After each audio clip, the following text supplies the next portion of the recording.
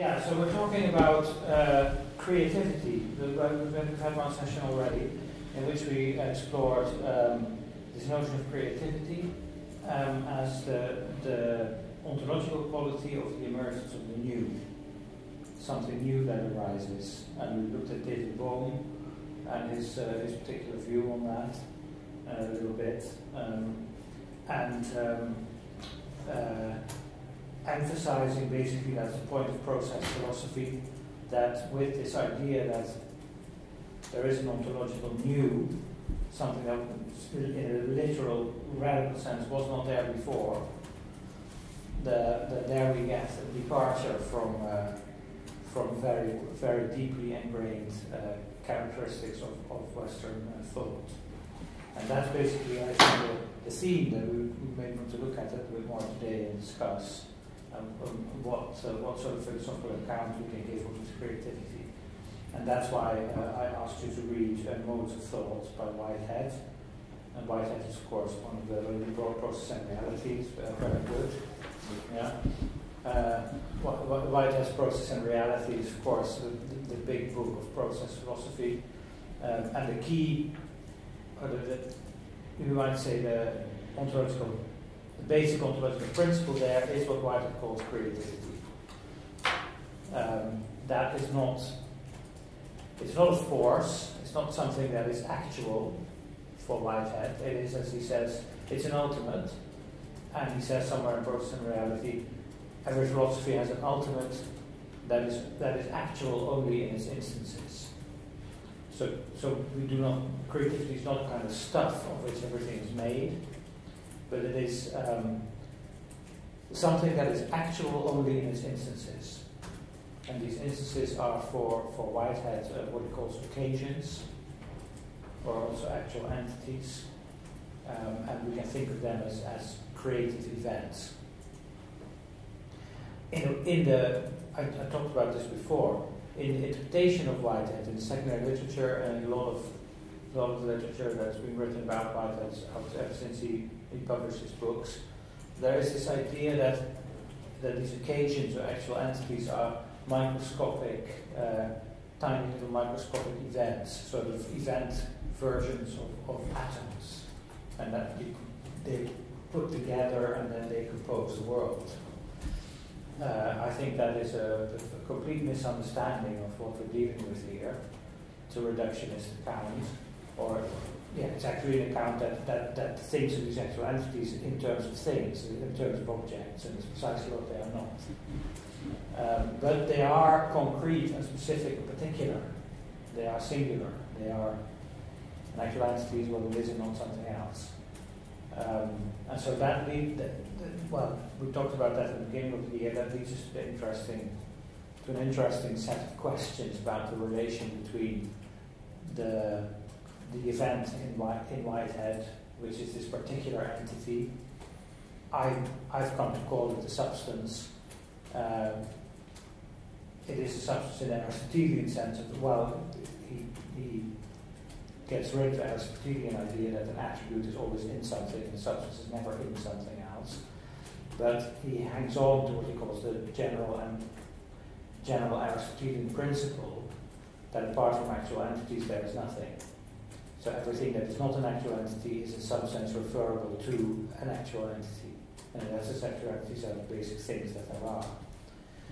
In a loose sense of thing, not in the sense of a an object uh, that can be encountered in space and time or something like that. Is, is, is that thought, sorry to interrupt you, but is that thought that uh, by saying that they are ulti- ultimate uh, and only actual in their instances, that they grab is something that grounds itself? Yeah, exactly. Yeah. So, so, they, so they ground themselves, mm. uh, and this is where we where we see the the distance to, uh, to classical philosophy. Maybe even, I don't know, German idealism is something interesting to talk about, but um, the actual entity so, well, we have to talk about what Whitehead understands by philosophy, and what philosophy is. We will do that in a minute. Um, this actual entity is, is an event, is, a, is a, an instance of actu- self-actualization. Self-actualization.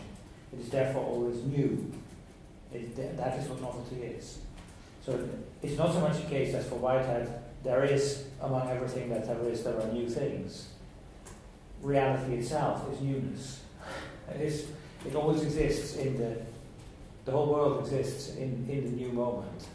Yeah? Uh, and, and everything, the, the, the past is, is taken up by the, the concrete self actualizing occasion and exists as the past for that occasion. Um, but it's not just one present, it's not just one occasion at each point in time, there are many. Yeah? That's, that's, so it's not a kind of Fichtean subjectivity, although there is, uh, there is a strong link between these two uh, conceptions, and there is actually a book in German by uh, a woman called Kremer, I forgot the first name, a comparison of Fichte and Whitehead, yeah? which is, uh, you can understand how that comes about. Yeah?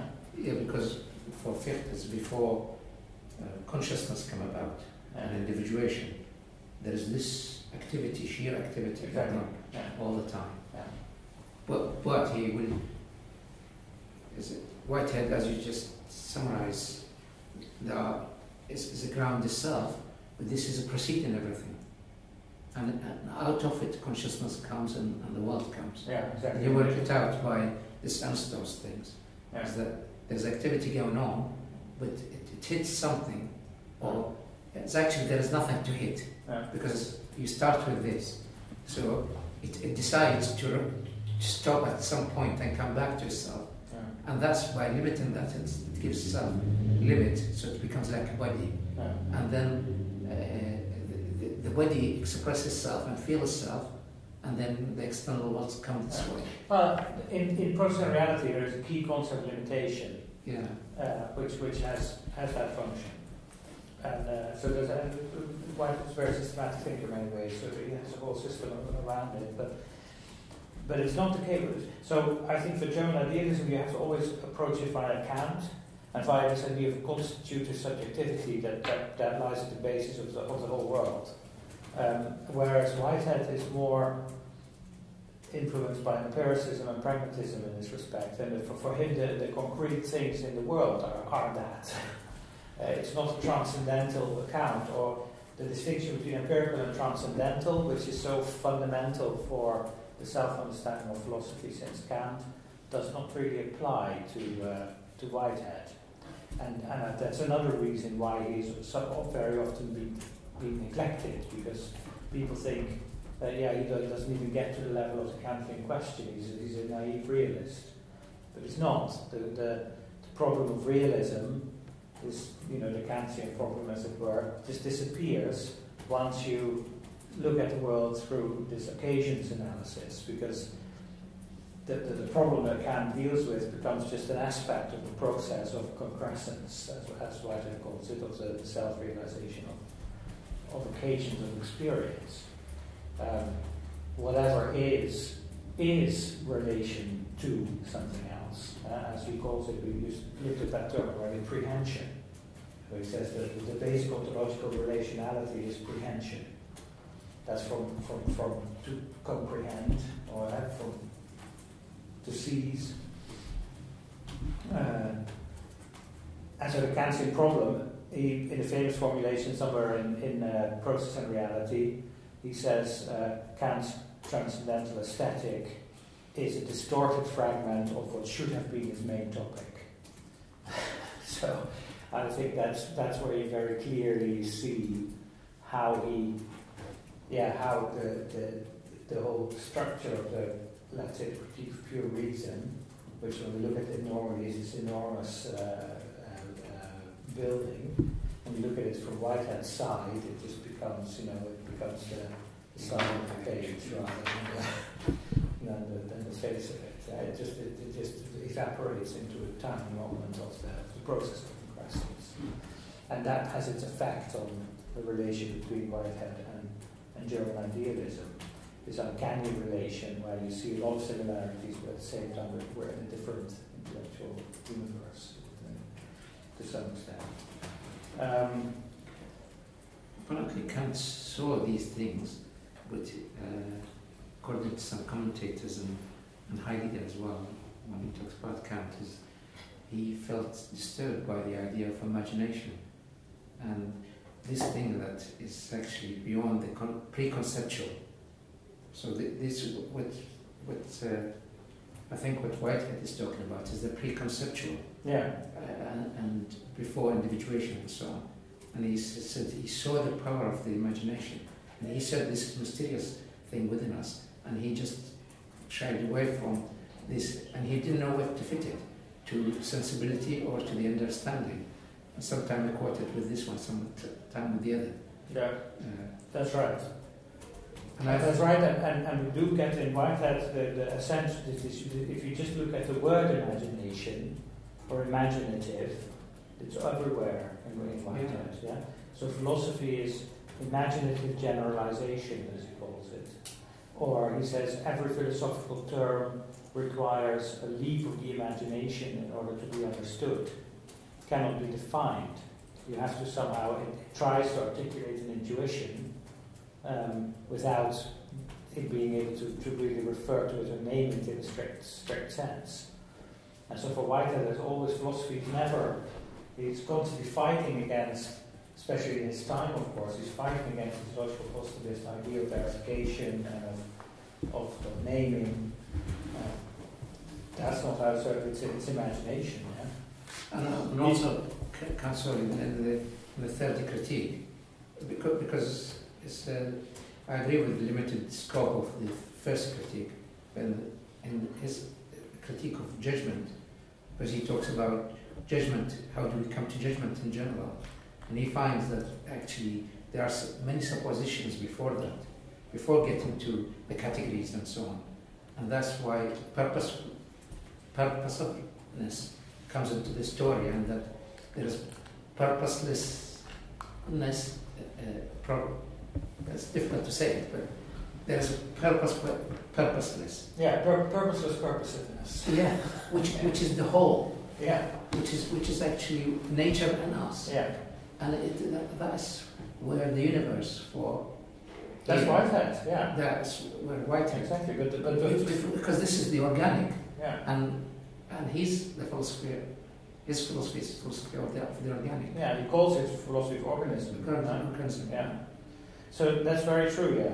And that's why it's so very interesting why, why Whitehead is such, such an interesting thinker who has been completely neglected by mainstream uh, philosophy in a very strange way, where he stood, you know, you might say, no, I don't know if you know about Whitehead, but of course he was the co-author with, Bert, with Bertrand Russell of Principia Mathematica. Uh, and I was, when I was a student, there was also this, they always sort of, sort of talked Whitehead down by saying, oh, he just did, he did the maths. And, you know, it's not true. It's not true at all. I looked into the whole correspondence and everything, and the key ideas are, are, are his. Um, uh, but, but he had a really bad press, and that had, that had to do with the rise of logical positivism and, and how he felt that that was an, an abstract view of, of how we relate to the world rather than a concrete view. But um, I found it very, I wrote about that in my thesis a long time ago. There's a very interesting letter uh, by Whitehead to, to Russell in which he, 19, shortly before the publication of Logical Atomism, in which um, uh, Russell, Russell first writes to Whitehead saying that thank you for giving me that idea of logical atomism. I want to publish it, I want to make a book out of it. Um, and then Whitehead writes back and he says, well, you, you do what you want with, with, with uh, you write about what you want, but don't mention my name because for me that is one side of the story. It's, it's where abstract reason, how abstract reason can, how, how we can think of a new way to organize abstract reasoning calculation. Um, but it cannot be a whole account of the relation between uh, of the nature of experience, which he saw as, as the nature of reality. Uh, it's, it, it's, it's the one, one side of it. And so it has to be complemented, he says, by a speculative philosophy. And he didn't get around to writing that until he was well in the 60s. Uh, had his first philosophical book, Science and the Modern World, is, is uh, He published when he was 63 or 64 or something, and all of this later. Um, but it's very, very interesting that he, in many ways, he was so so influential in ways that we don't even really acknowledge today in the rise of what is now analytical philosophy. Uh, but on the other hand, right from the start, he saw that as just one side of a, of a bigger project. And he tried to, to create that bigger project himself, but by the time that he got around to doing it, it had already achieved, the other side had achieved such a momentum that, uh, that they just pushed him out.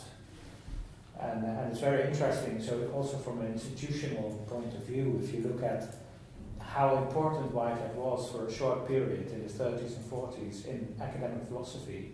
He was, he was, uh, he was sort of, certainly in America, he was the, the, the, the, the leader. Huh? And then suddenly that, that changed uh, after the war in the 50s, when from England logical positivism established itself in, America. And that it suddenly completely disappeared. He, he seems to be at odds with Russell and with the analytical school by uh, the analysis of the sentence. Because for Russell, the big uh, items, the, the meaning of a name is the item. So, so the sentence seems to be a very individualistic thing. So there's a composition within the sentence, but this sentence picks up very particular thing, rather than what he's aiming at is to have the background with it. To have yeah, so he, he, he, tries to write it in a way that, that, that conjures up the background. Yeah. yeah. And he starts, we'll look at the, at the, the chapters in a minute. He, he starts by doing that when he talks about importance. Yeah. That's, that something has to do with how the whole background is present. And you can't understand the, the elements without the background.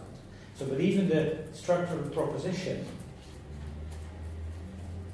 Px, or S is P, even, even that is for him abstract. So he says, uh, in, in, a, in, in a reminds us in a way of Hegel, he says in the beginning of Process and Reality, the subject predicate form of proposition is unsuitable for metaphysical analysis because it sets up two abstract entities which it then has to get back together again. And he makes it very clear that, that, that if you start out that way, it'll never work. Yeah, that's, that's, that's why it's related to the Novalis point about yeah. language. You have to go back and you have to see how. So the, the question is not it's a famous quote from um, from a famous remark on Process and Reality, or at least I, for me, is famous in my own thinking. Uh, he says um, the question of philosophy is not how concrete fact can be explained out of forms and combination of forms. That's a completely wrong question. You can never explain it. The philosophical question is the other one. How can we show that out of concrete fact something like form can emerge? And, and that is the that is the philosophical question. Um, I think that that that sort of yeah, addresses that point. Yeah. yeah? Well, well, Russell abandons as well the subject predicate in his analysis of sentences, but they still uh, very particular things. They pick up particular uh, things in the world. Yeah. Uh, a single fact, which he doesn't uh, he doesn't like. he doesn't like that. No, yeah. no, no. Um, so he was he was concerned with a whole lot of things. Very, in many ways, in many ways, I think he was also it was like Leibniz, concerned with things that only later on became clear, and some may, may have not have not even become clear yet. The full breadth of what he of his thinking. I think yeah, there's something very peculiar about it. philosophy becomes creative. You can create the concepts uh, that you want and that you need. Uh, so it becomes very imaginative affair itself. And of course, in reality, there is this this uh, address about about what philosophy is, where he talks about the difference between critical and speculative philosophy. Critical philosophy stays within the dictionary, tries to perfect the dictionary. Speculative philosophy tries to extend the dictionary, tries to say provide new verbal coordinations for depths as yet unspoken that are somehow present in intuition. Uh, and also as a critique of system. And, and therefore, a critique of system. You need system to philosophize, but it has to be an open system. Yeah? And he also says, uh, which is, uh, I, I, really love that uh, remark, uh, we dismiss deductive logic as a major instrument for metaphysical discussion. Such discussion is concerned with the eliciting of self evidence. Apart from such self evidence, deduction fails. Thus, logic presupposes metaphysics. That's a very far reaching consequence because that means that logic is not an instrument of metaphysics. I, I think uh, in Heidegger you get the idea of the negation. Yeah, Uh, and there is a. There is, so, yeah. uh, the negation is which is logical, but that presupposes the nothingness. yeah. Because without nothingness, uh, you, can't have negation is a particular case of that negate uh, nothingness, which is uh, which is metaphysical. So you have the metaphysical uh, before and beyond the logical. Yeah, exactly. Yeah, that's right. And I was going to say, when I started out just now, I was going to say so there is an interesting relation between the event in in Whitehead and, and what Heidegger calls our Ereignis. Yeah? Nothingness, yes. So, which is also this self, but you can't call it self-actualized, it would be totally wrong language, but it is a showing of self out of Self-revealing. itself. Yeah? Or being, Disclosing. being creating a to, Zugehörigkeit, uh, belonging together, of being and, and uh, world, world and man in language, in which the world shows itself out of itself, but only in that, to that place that is Dasein, that is human being. Human being, human being is not necessarily Dasein, that can also be something else, but at the moment it, it still is. Um, and that is somehow related to what Whitehead does, but it's also very different. And the, the, the difference is almost the same as what we get with uh, the German idealists. So this is a pluralistic world in which there are many events that actualize and realize themselves and that in, in a sense create the, are the place where, where the world is. Um, it's not, but, but it's, it's always, it, yeah, go on. No, just a question. Um, I also noticed uh, a, a lot of similarities between uh, Heidegger's thought and Whitehead's thought. But um, y- you said that um, the event in Whitehead could remind to the Ereignis. But um, the Ereignis in Heidegger uh, appears after the Kehre, after the 1930. Uh, on the other side, I think that um, the idea of creativity uh, in, in Whitehead um, seems to me uh, more similar to the earliest Heidegger because the, um, the, in the earliest Heidegger, the role of the subject was much more stronger.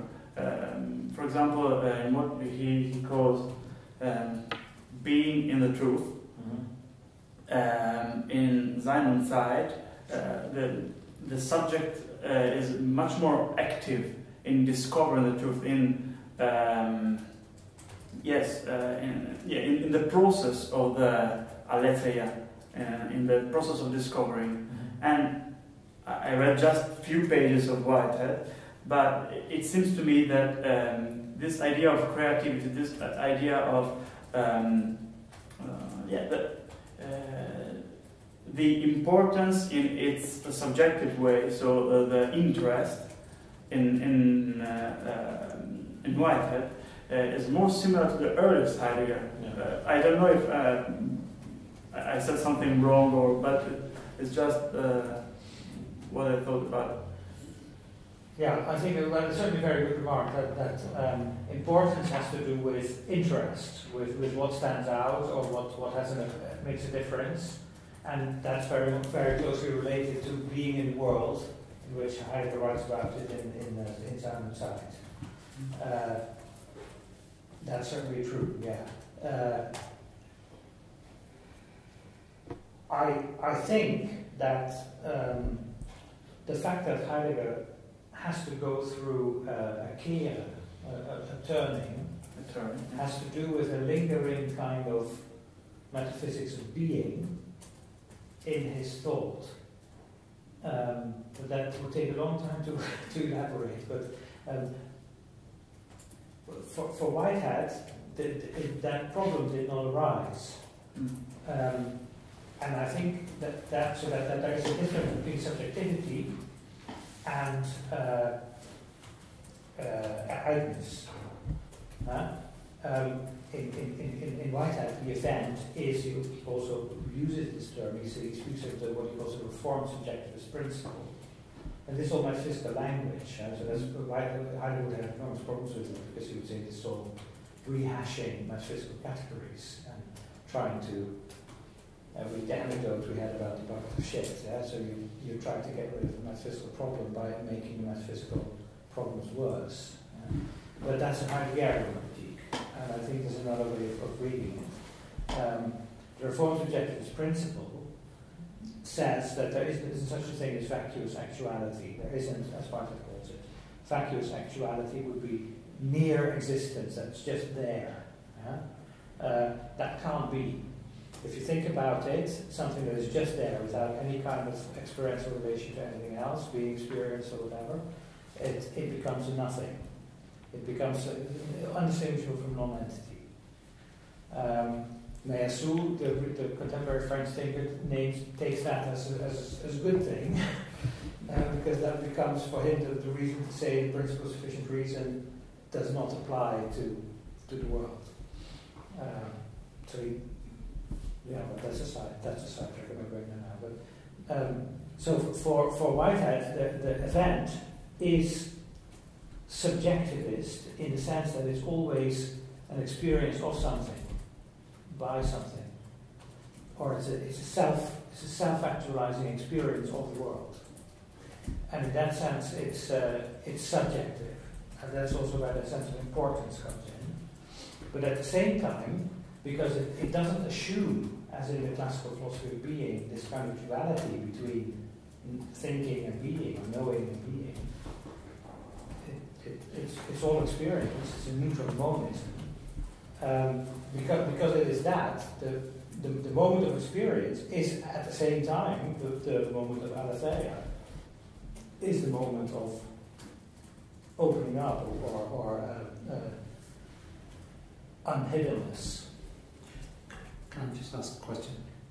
Is experience here experience in the subjective sense that we have sort of higher view of subjectivity, or is it could could things in nature experience themselves? Yeah, yeah, yeah. I think that the only cons- the, the, the problem with it is that I think the, the logical consequence is that everything experiences itself. Yeah. yeah. I think you can't say you can't draw any other conclusion. Although you can say with with Whitehead, we've got no idea what that means. but it does it does uh, seem to be a logical. No, but say for example, we figure it out by science, and then we know these molecules interact in a certain way, and so they are experienced in each other, or electricity work uh, and magnetism and so on works in a certain way. This tree over the seasons, you know, loses its leaves, gains yeah. leaves, uh, metabolism of that, and so on. Um, that's kind of experience, and we can come to know it by. Yeah. It, the, the tree is not aware of itself, but we, we could we could figure it out by by reason. Uh, maybe we, we have particular. He talks about life for expression for uh, lowest level than the yeah, yeah, yeah. So the animals. He, he talks about he talks about so that he has a, in in in process and reality there is a whole phenomenology of experience, which he, which which he calls the analysis of of concrescence. So how does an act of experience arise? What are the phases in it? He makes it very clear that these phases are not temporarily successive phases. He calls uh, he speaks of the he calls this the epochal theory of becoming becoming so the concrescence of an occasion is an epoche, is, a, is an epoch. Yeah. It, it's temporal, it's extended, but it's everything at the same time. So you can't, uh, it's not, so he has four, four phases of concrescence, but they are not temporal successive stages. Um, and that's where, yeah, that's where some people have said, some influential people have said, uh, that that's a kind of transcendental analysis that you get there. I think it's a little bit different. Um, in, in that analysis of the occasion, uh, you, you get, uh, in his philosophy, it's very technical, but you get this moment when there, where uh, consciousness arises uh, in the, in the, third phase or something like that. Um, And that's a very specific form of the structure of prehension. But this prehension is always there, and it is a kind of self enjoyment. So, as Blake said, and he, Whitehead often refers to the English Romantic poets, uh, Blake says somewhere, it, it is my belief that the flower enjoys the air it breathes. Yeah? Uh, I think that is, uh, that is that's Whitehead. Yeah. that's, uh, yeah. And incidentally, last session, I forgot to mention, we were talking about poem and creativity. Uh, Blake saying to see the world in a grain of sand. Yeah, yeah, yeah. yeah that, exactly, yeah. To see the world in a grain of sand. And it applies to Whitehead as well. Applies to, Whitehead. that's the occasion, is, is that, yeah. But it's, it's also more than that. It's not just uh, every, every, the whole is in, is in everything. That's, that is, that's right, but it is true. But that's not everything. It is also self-actualizing novelty. And that is that's something else than just this old mystical idea that everything is in everything else. Self-actualizing novelty is some everything is in everything else, but only in the way of a self-actualizing newness. That's where, where, where, where you find it. In that sense, it's very closely linked, I think, to the to the to the, the text. Uh, says in his writing process, you, you, you hold something in your mind, you fix on an idea or an experience or an object, and then you you swim, or you blow. Yeah? Uh, but it's only in that moment that that reality is there. Otherwise, it becomes abstract. It becomes representation, or it becomes memory, or whatever. Yeah? But in that in that moment of self-realization, it's there the real relationality to the other is there. I think that's uh, maybe that's how that's how he sees it. And that for me also then he says that also in the beginning of personality, that links it to this question of Taoism. Where I think we, we, started out the seminar by saying, yes, but the Taoism the Taoism is a, is a thinking of harmony, there is no, no interruptions there. Um, and, uh, and, and I think that needs to be following David Hall, uh, who also learned a lot from Whitehead, I think that needs to be qualified. I think the, the individual existent in, in, in Taoism is radically distinct from everything else, and at the same time one with it. But it's also its own insistent particularity, as, uh, as Hall calls it. And this existent, this insistent particularity is also the, the nature of the occasion. It's insistently particular. Um, all of that starts with a, a, radical departure that we get in this type of thinking from the classical idea, the classical Greek idea, that nothing moves by itself. Yeah? Quid movetur ab alio movetur. Anything that moves is moved by another. Except for God, who is the unmoved mover. But um,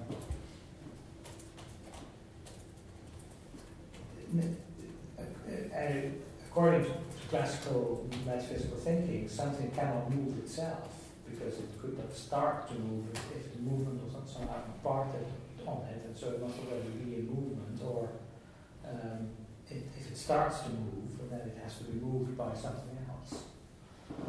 And uh, in a way, that I think that's a very fundamental idea, which Thomas Aquinas uses in his second uh, demonstration uh, of, of, the uh, existence of God, and uh, Aristotle refers to it as classical classical idea. For me, it is sim- it, it captures sort of a wider point about classical thought, this, uh, the, the, the, the absence of the new, the absence of novelty. In the classical view of essence, essence is that which something already was, what it, what it always already was, or it is a, a, a nature that, that lies so dormant within something that can be actualized, but it's already there. Um, and this is always a process that comes from without. And this is a whole mental world in which the, the, there is the new does not have a real real ontological place, just as the the, the coincidental the the das zufällige, the tuche, which uh, Greek does have and, and has, a word for it. Um, but, but, but also that, there is no real, real ontological place for it. I, I think the argument uh, I forgot the argument now, is about Newton's, Newton's, Newton's space. Because for, for Newton, the space is already there, Yeah. and as, as absolute, which Kant doesn't accept, uh, because it's for him it's the form of intuition. Yeah. Uh, I think Whitehead doesn't like that. Uh, No, there is a whole theory of space there. The whole, the whole, Yeah. the whole the, the deduction of what he calls the extensive continuum. yeah, Yeah, uh, it's, his it's his own his own theory of space. Also did like a, a relativity theory.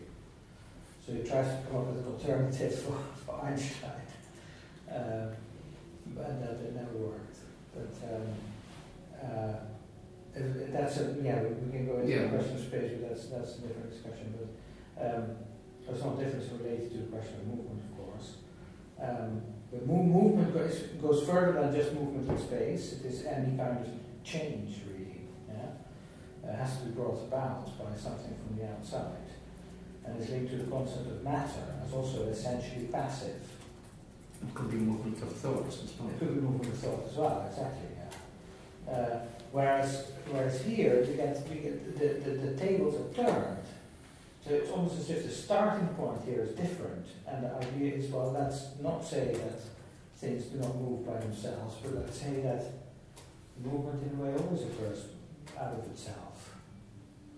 And then, then how, what, what, what, changes, or what can we then think? We cannot How does uh, so um, Whitehead deal with uh, the, the category or the concept of cause and effect? How, how, the, how can it be possible for him to think to the movement without this uh, Yeah. this scheme? Let's call it. How does it uh, how is it possible? Yeah, that's, a good, that's a good question. So uh, he does go so far as to say that if we take the, the nature of the occasion seriously as an account of the basic structure of, of things real, then we have to say that things appropriate their causes. So as, as a, an actual entity realizes itself, it chooses, that's very Chooses. it, it chooses, as it were, uh, to appropriate its causes. Yeah. But all things, or just the things that are alive? All things, also a stone, I don't know. The, the, the clearest analogy of that is, of course, our, our capacity to, as, as Kant says, to become the origin of a, of a, of of causal chain. And to, to, so the, the notion of, a, of, a, of a, an act is a kind of self-appropriation of causes. Uh, without, you know, there's a difference between the act as a spontaneous self-appropriation of causes, uh, self-positing, and the act as goal-oriented. They are they're closely related, but they're conceptually distinct things. Uh, so it's not you don't have to be a teleologist to have to, to have an account of the self-positing nature of the act. I think you could you could they could be distinguished. Um, and it's important to realize that the act is we, we tend to step over that point and to think of act in terms of what it tries to achieve, goals. But that's that's uh, that's something separate from this moment. So then the question is, does that in stone act? Does uh, Well, stones don't do it. People do. I mean, if you accept that people have free will, then you should believe that people can initiate motions. You can always construct a chain of cause and effect backwards from that. But usually it, it uh, just disappears into sort of microscopic influences from the past that you can't really follow anymore. yeah, Yes, the, these are the two, uh, the two worlds, the two dimensions in Kant's thought also to, to explain freedom in Kant, because you have the, the chain of reactions on one side, and on the other side you have the uh, moral issues, and so you have to uh, to take freedom as a presupposition, but uh, you you'll never know. Uh, you you you cannot um, provide a, a proof of the of it scientifically. No. So the But I mean, a I mean, I think Kant probably got the idea from Leibniz, who said that if you follow the chain of causality Yeah. all the way back, it, it ends up in the mind of God, and that's where it started. That's, exactly, that, yeah. that's the original cause. Yeah, and that was also a free act. Yes, that, that was a free act. yes. Yeah, yeah, yeah. Yeah, that's a good point. Yeah, that, yeah. Does it satisfy you? uh, um, maybe I have to think about it. we can we can continue. Well, what is your worry? Sorry. Yeah. What is your worry about the point? I mean, Um, I um, I worked uh, as, as I told you I I worked a bit on um, uh, Ernst Bloch and uh, of the concept of the, on the materialism of Ernst Bloch, and uh, precisely this uh, was one of the main problems I found there.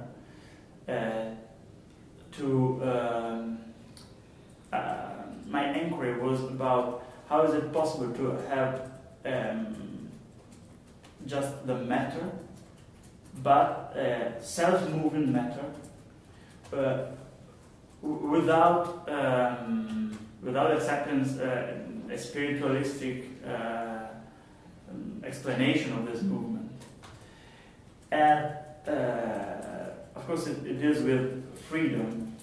Uh,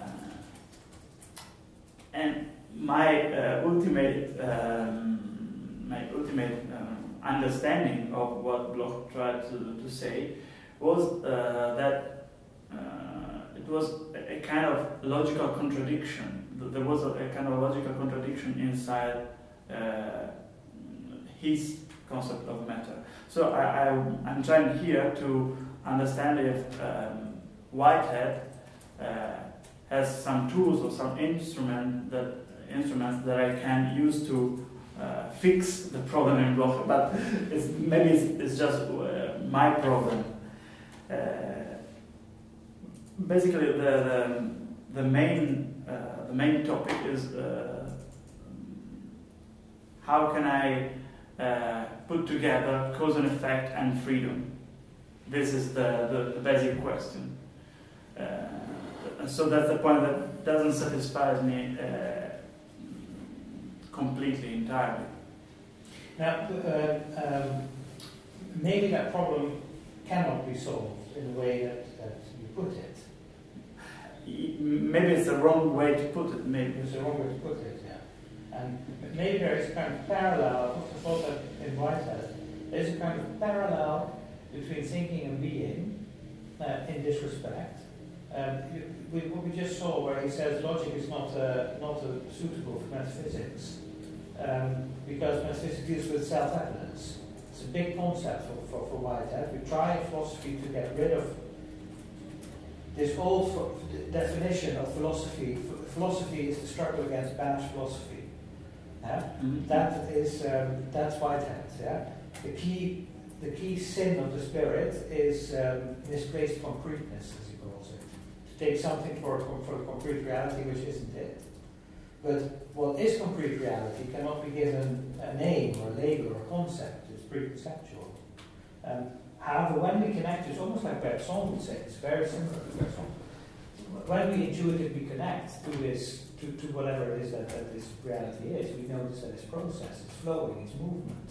It's like David Bohm says, it's a stream in which uh, Shelley's poem uh, that he quotes here, huh? uh, bubbles coming up in the stream, worlds are like bubbles coming up in the stream, they float a while and then they burst again. And th- that is basic.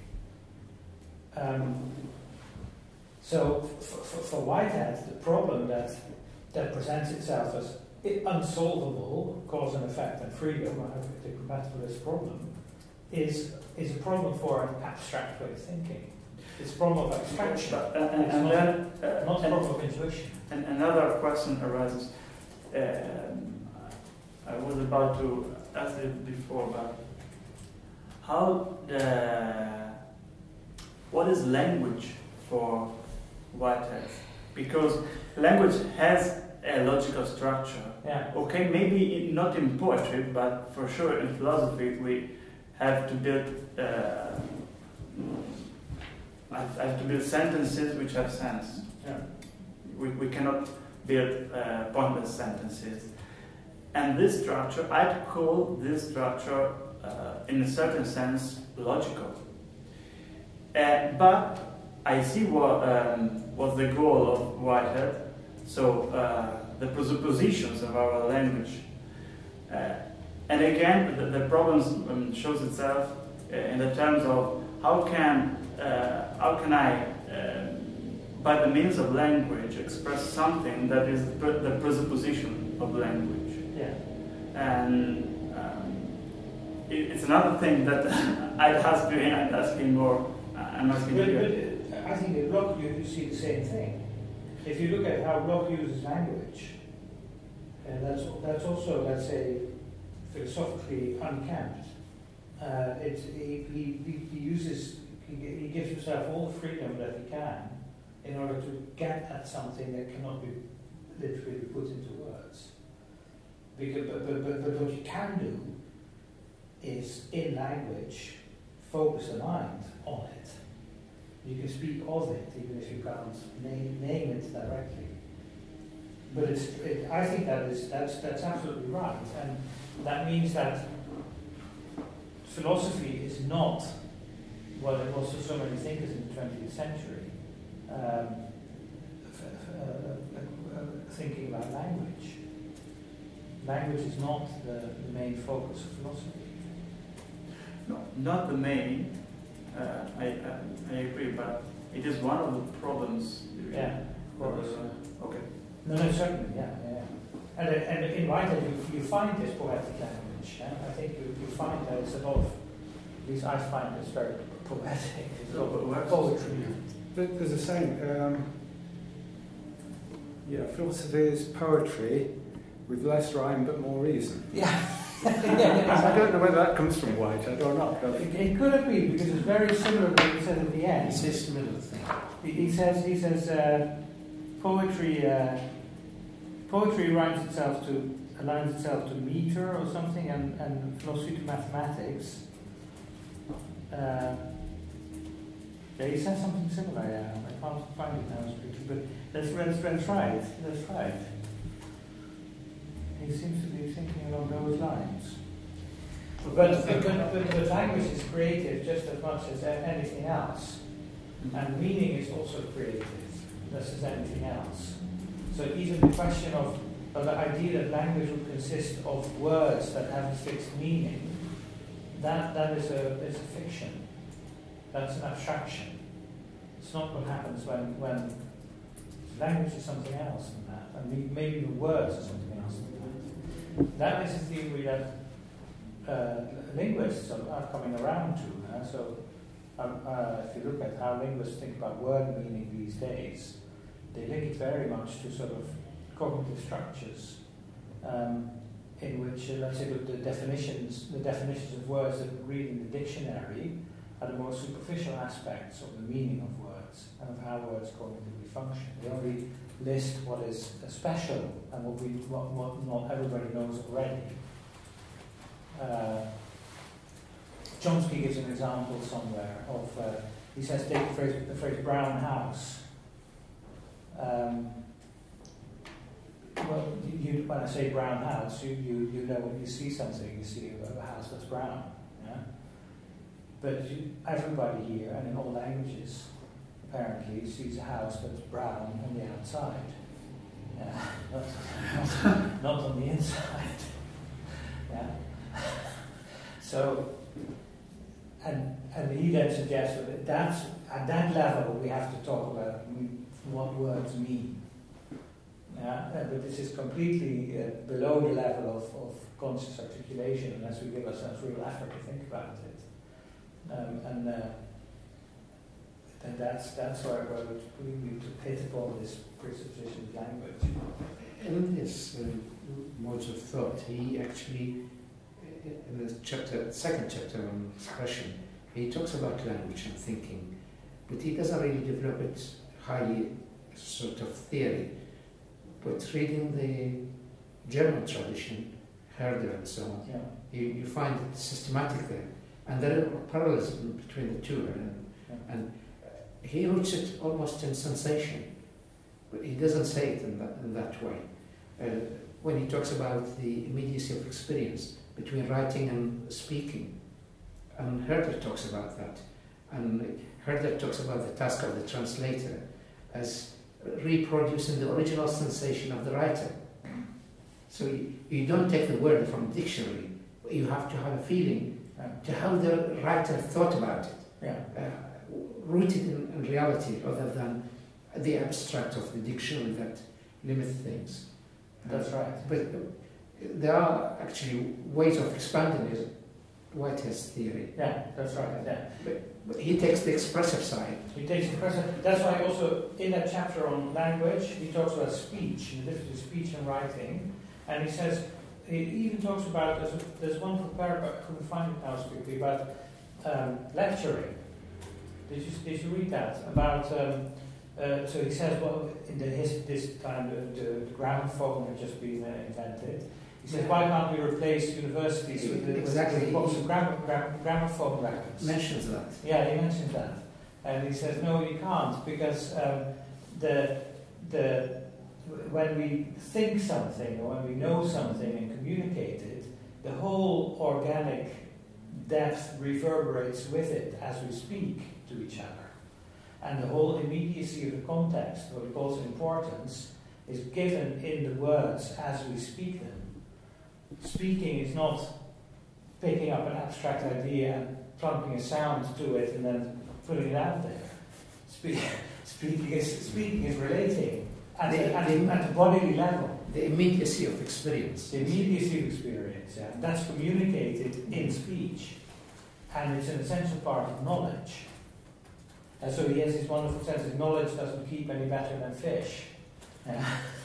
No, knowledge is also, it's always used or owned or appropriated or and it, what's in a dictionary information or that that's not knowledge. Yeah? Uh, And the Islamic mystic tradition, there's this Spanish mystic, well, Arab in Spain, Ibn Arabi, 13th century, uh, 12th to 13th century, he says, you, got your knowledge, I mean, like all the Western religion and law, uh, from dead, dead people, and we got it from the living one. yeah, yeah, yeah, yeah. Through, through, Through mystical But, but you experience. see, yeah, but you see the same thing. So, what, what is the theological, mystical experience of relation to transcendent God, and therefore is living knowledge and the living word? And in Christianity, we have exactly the same, the same figures of thought. Here becomes the structure of our experience of the world. Yeah? And just as in just as in Bloch, the the relation to a transcendent God becomes the historical, what is a perpendicular relation, becomes a a Horizontal. horizontal forward relation. Yeah, yeah. It's a, it's, it's a, it's a real shift. Yeah, but it's and you could say, yeah, that's just how you look at it. So what, what, what does it matter? Uh, but but the moment that that's a claim, and we're trying to think about the moment that you introduce this this element of the new, then something does change. Um, and, and according to, to Whitehead and uh, Bloch is in the same line. I found they are for me very much uh, similar oriented thinkers. Something comes into philosophy that philosophy is always forgotten about once we realize that there is this, this thing, the new. And then we can also understand how the idealism of philosophy, that it deals with abstract, real, removed from the bodily or material, that that is, uh, is itself an, a fallacy of misplaced concreteness the Hegel's logic is, or, or the, the Platonic ideas, they are fallacies of misplaced concreteness. And they are linked to the ideological structure of societies uh, also. Yeah. So we can even understand how, how philosophy has itself acquired an ideological function. Um, which it, in many ways it still carries with it. Uh, um, yeah, we just before before you came in, uh, so we, we were talking about Novalis and what he says about language, and I thought when you just what you just said had a lot to do with it, so that was really now, yeah. It's a very short remark by Novalis about language. Speaking and writing is a crazy state of affairs, really. True conversation is just a game with words. It is amazing the absurd error people make of imagining they are speaking for the sake of things. No one knows the essential thing about language, that it is concerned only with itself. That's why it is such a marvelous and fruitful mystery. For if someone merely speaks for the sake of speaking, he utters the most splendid original truths. But if he wants to talk about something definite, the whims of language make him say the most ridiculous false stuff. Hence the hatred that so many serious people have for language. They notice its waywardness, but they do not do justice. They do not notice that the babbling they scorn is the infinitely serious side of language. Yeah, yeah it could be an answer. could be a Bloch, right? Yeah. could be a Bloch. And um, and, and I think there's something uh, something there in, in Whitehead too. And and um, so and also Whitehead says in this book somewhere philosophy should be more than the irritable debate uh, among uh, university professors, which it very often degrades into. yeah. Then he has the same he, he, has the same thing in mind, I think. So that as we're in the mindset where we try where we say, well I have to be able to say precisely then we become paranoid about our own speaking and thinking, and then, we, then philosophy becomes a fight, a battle, a struggle in which as Schopenhauer said two philosophers meet is like it's like two spiders meeting. One one has to die. I think there's some truth to that. Uh, and so like him and Hegel. Hegel died. Yeah, yeah, yeah. yeah. So it's like him and Hegel. Yeah, yeah. Um, so I think that that's, those things are, are, are very important to, to even uh, get a good way, good way into, into our heads. You know, you have to, uh, yeah, that is a, it's just such a different intellectual universe from the one that we are normally that we used to and Bloch is the same. So for Bloch, he doesn't doesn't assume uh, entities in the world fixed. Does it? No, matter. It's matter. It's dynamic process. Dynamic, so yeah. it's, it will be very close. Uh, and it's and often and it's also not yet, so it's, it's also process. Yeah, it's, it's Goethe, uh, geprägte Form, die lebendig sich entwickelt. The, I don't know how to translate that, but uh, Goethe has, has this short set of poems called Urworte, original words.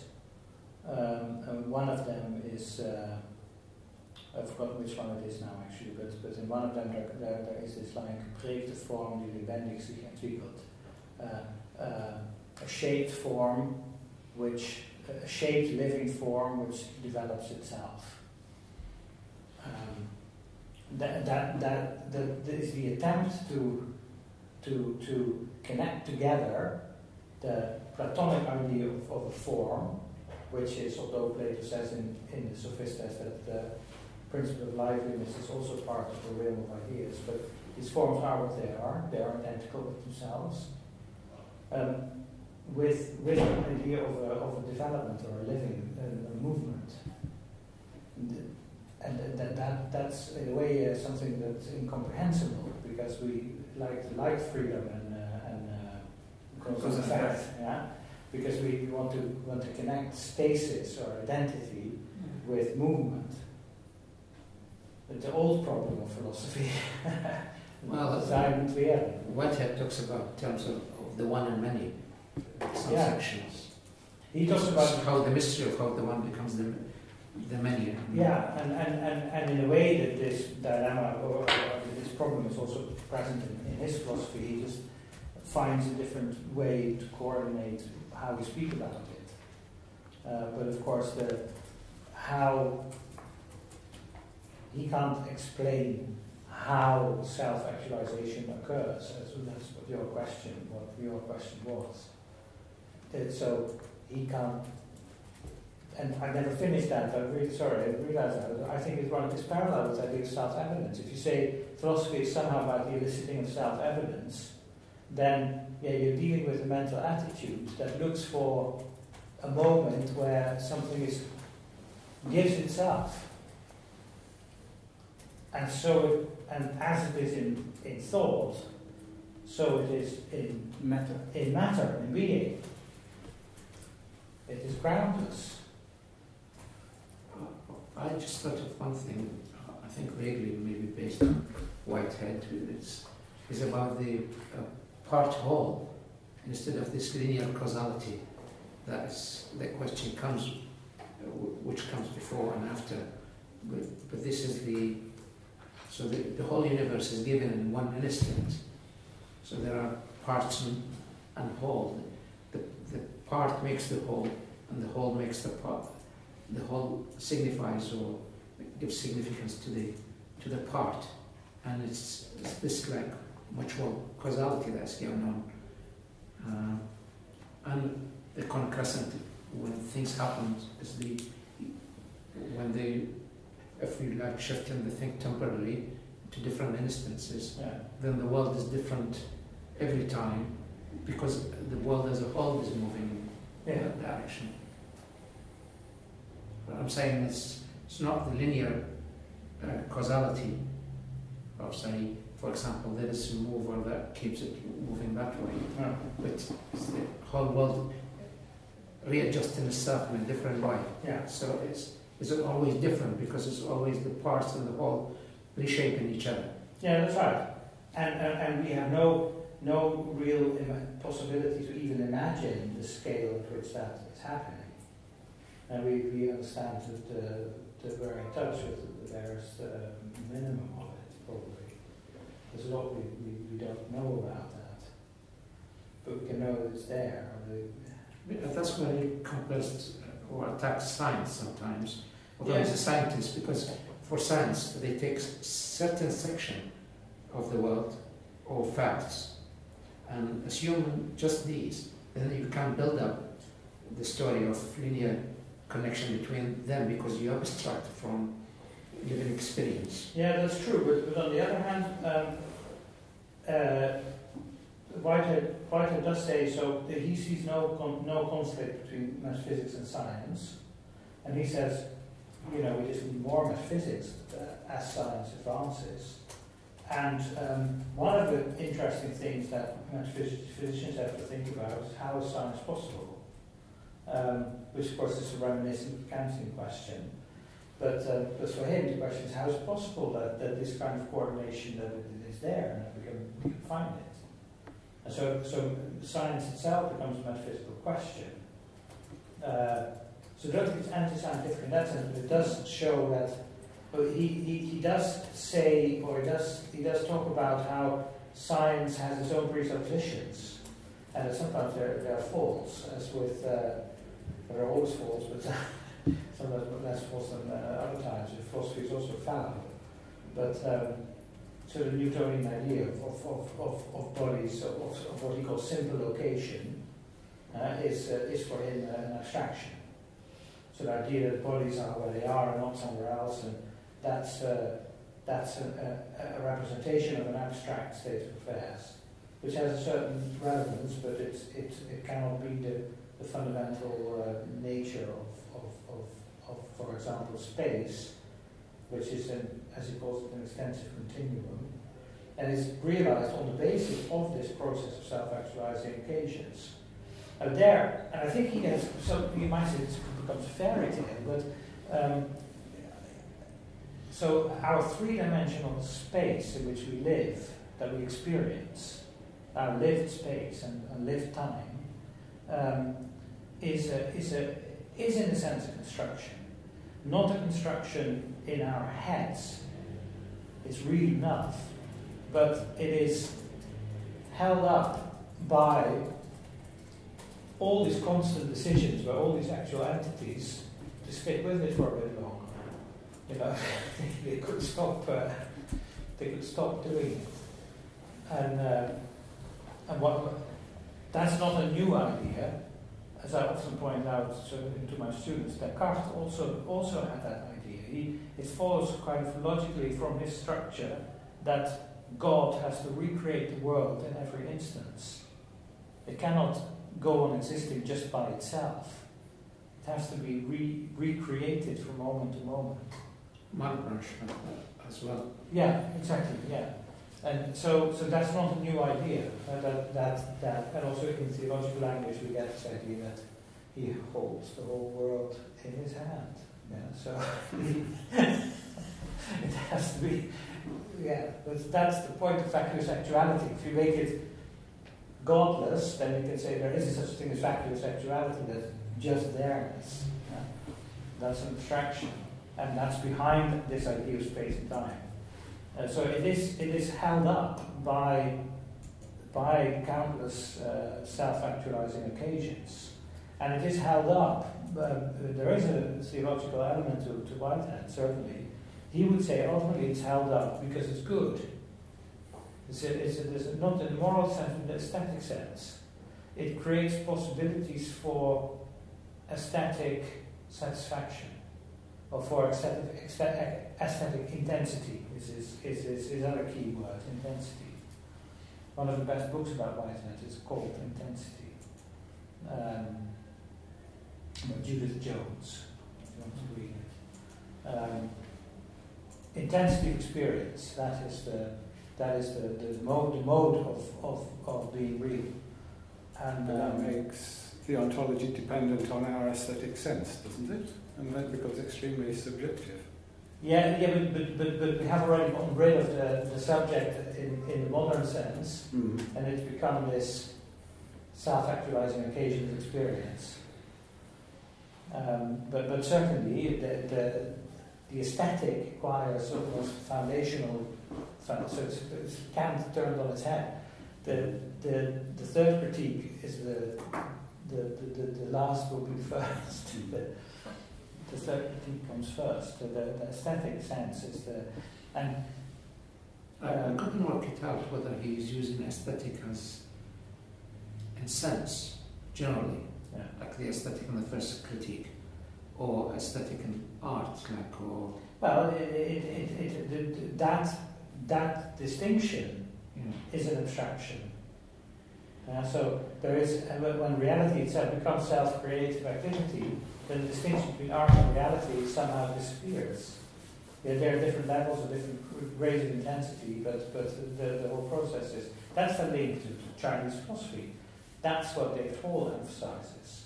And that's why, which, which you will have to look at, Hall and uh, and Roger Ames's translation without the chain, the, the, this, the new translation that they made, is based, starts with this introduction in Whiteheadian aesthetics and links that to the process of self-realization that is described in, in, uh, in, uh, in Chinese philosophy. Um, so this intensity of experience, that is the, that is the objective, and that has within itself um, although in Whitehead that comes out less strongly than in Bloch, that has within itself this dimension of incompleteness.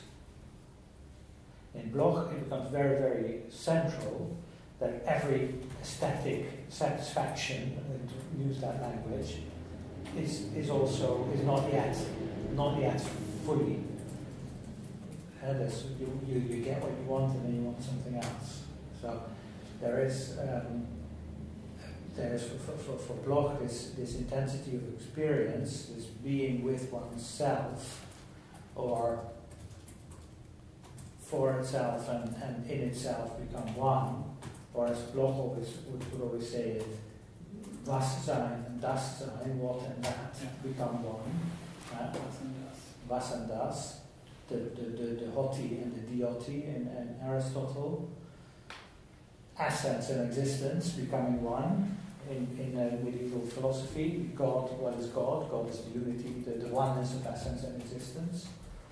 The, the, this is the utopian dimension, and it's an unfulfilled dimension, uh, which, which Bloch is absolutely central, but it's in Whitehead there as well. I pointed this out a few weeks ago already when he says, we don't know what green has yet got in store for us. Remember I said that, right? It's, it's in Order Modes of Thought, where he says, what else it Science and the Modern World, I think, where he says colours are, have an unknown dimension to them.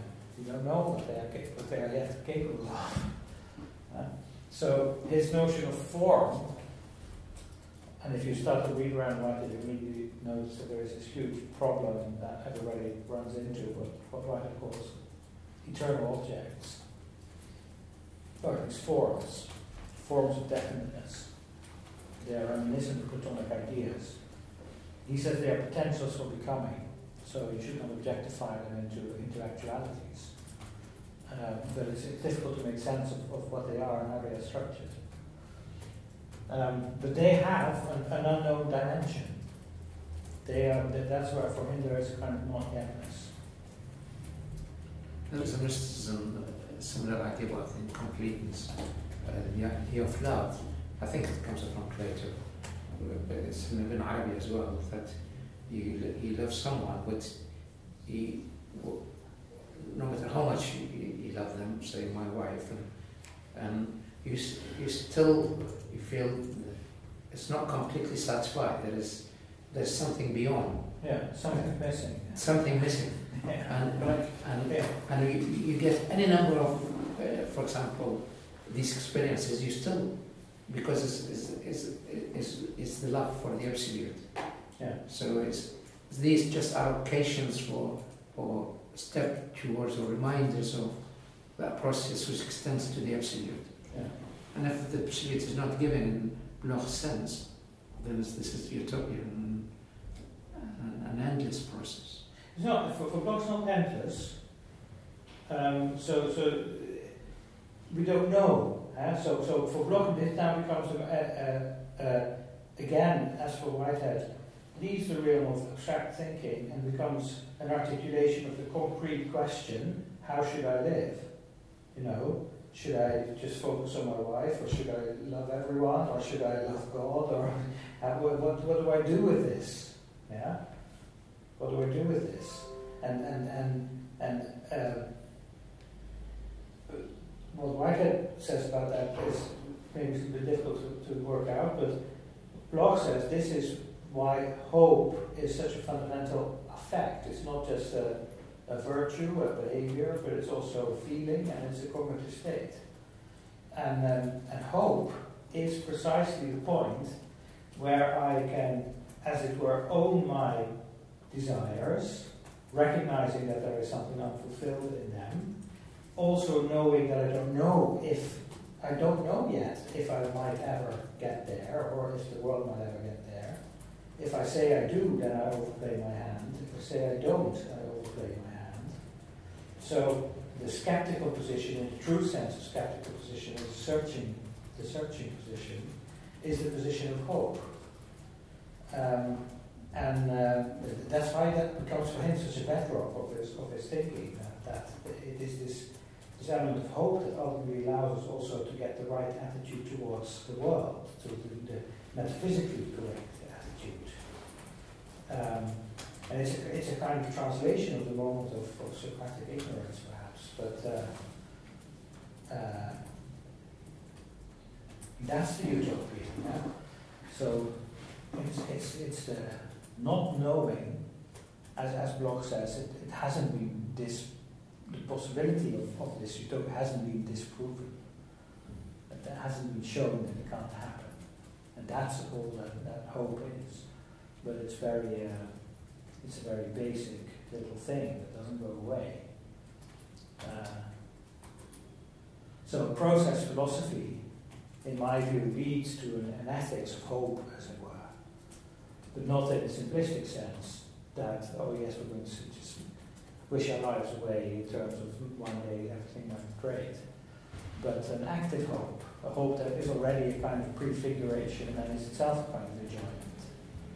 Uh, all these familiar tropes that uh, that that happiness is, is virtue is its own reward and all these things that, that they all come back in, in the way that process philosophy would think about hope. Uh,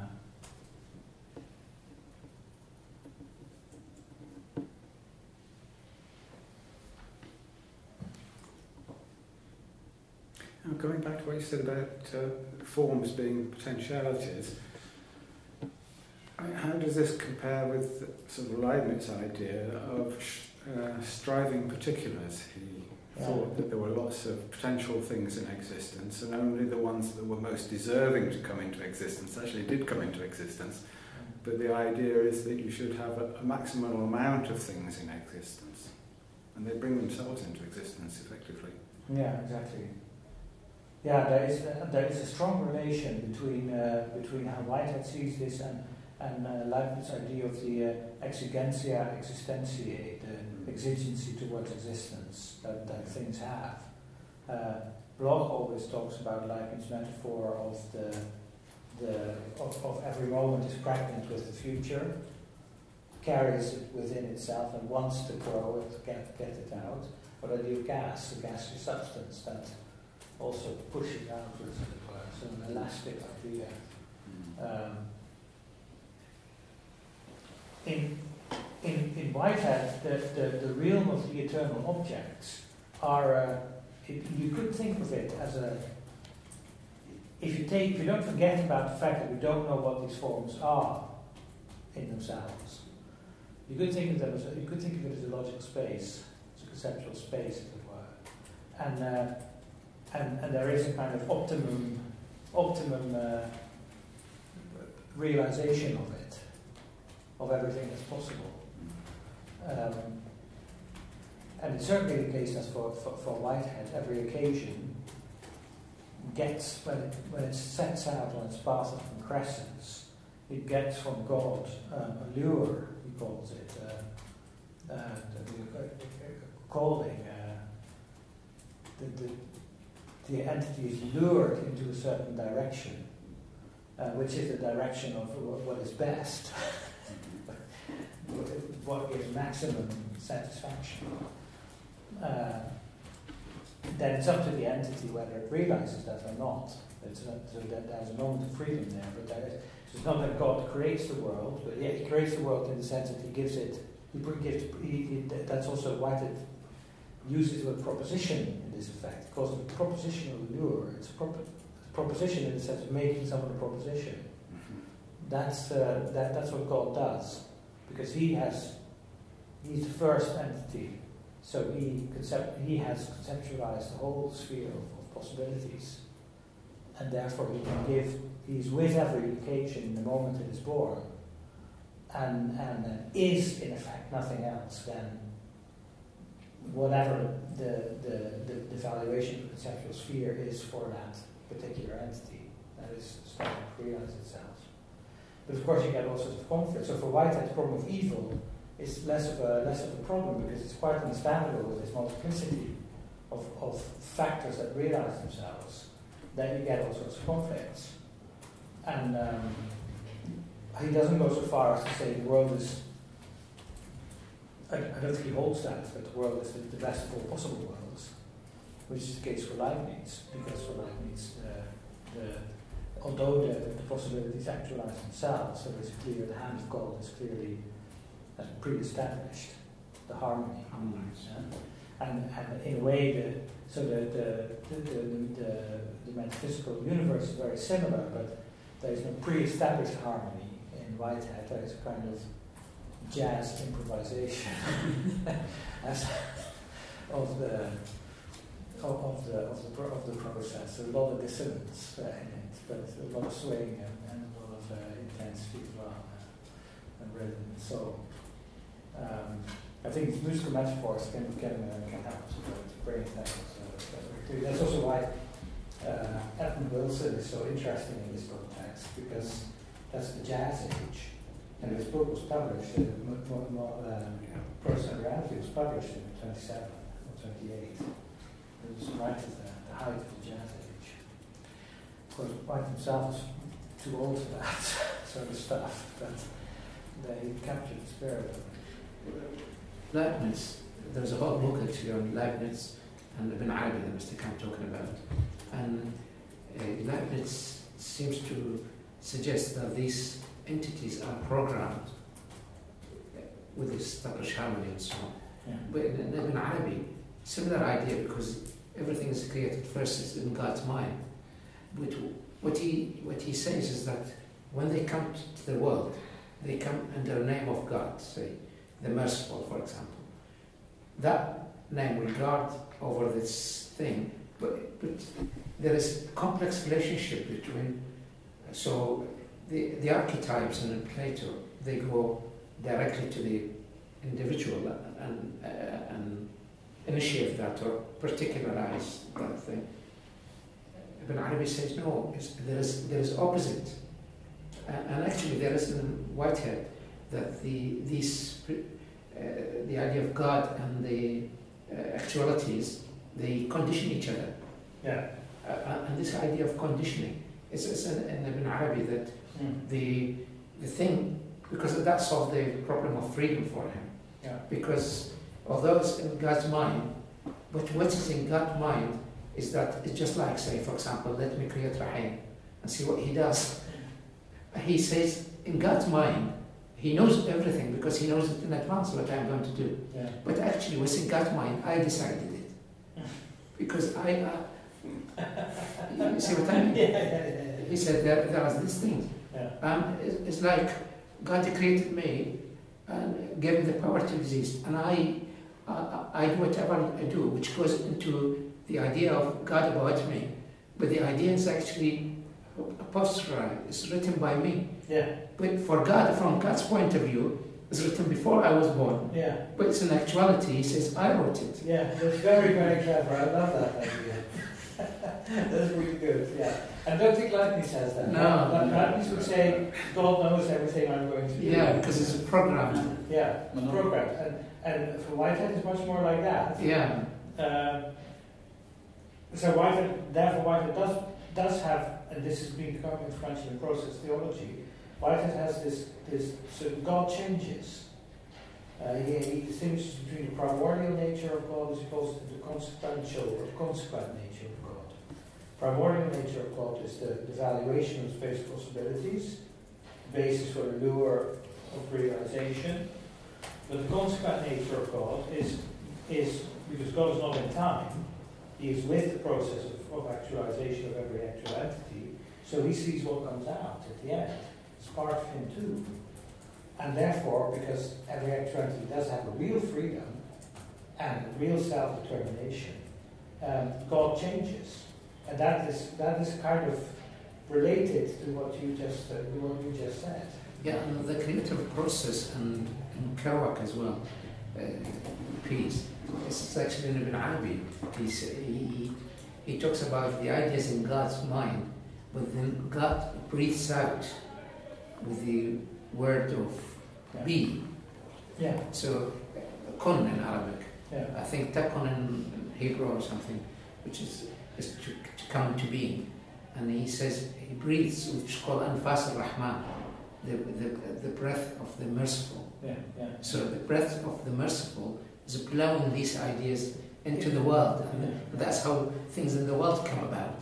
And, uh, and Kerouac talks about blowing these. Yeah, yeah, so it's blowing, yeah, exactly. He talks about, and then he links it to jazz, doesn't he? Yeah. blowing the horn. Yeah. yeah, yeah, that's right. Um, and again, you see the so so you see that the, there's an interesting remark. Um, Dorothy Emmet, the I don't know if Dorothy Emmet is a known name for you for you guys. She was professor of philosophy at Manchester in the 20th century one of, with Elizabeth Anscombe, one of the first female professors of philosophy in England. And uh, she had studied with, with Whitehead.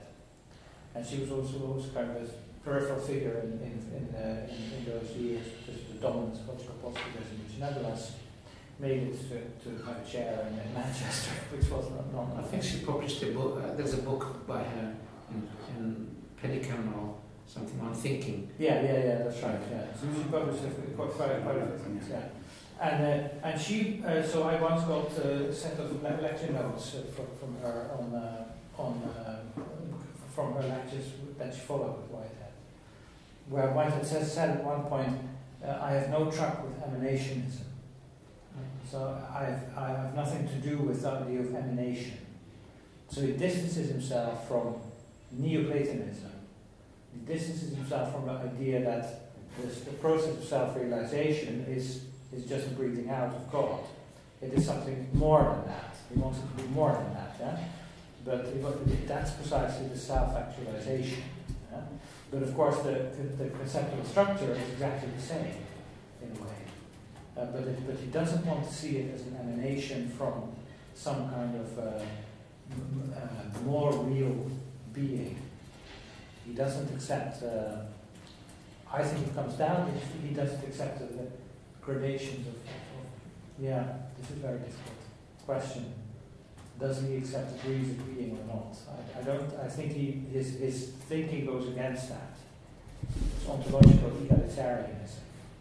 Therefore, it's, it's wedded to, to pragmatism, to the American tradition.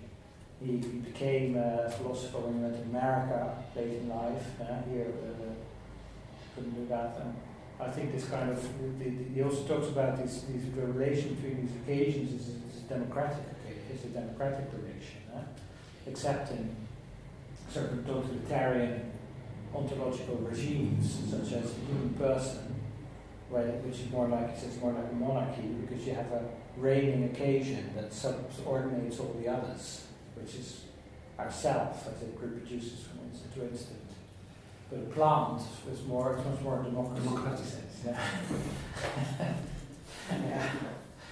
yeah. Um, I think these, these so, so he, he, uh, he does point out in Adventures of Ideas that after Plato and Aristotle, the, the real advance in philosophy was with the Alexandrinian schoolmen, with, and that is the, the birth of Neoplatonism, is, is the idea that um,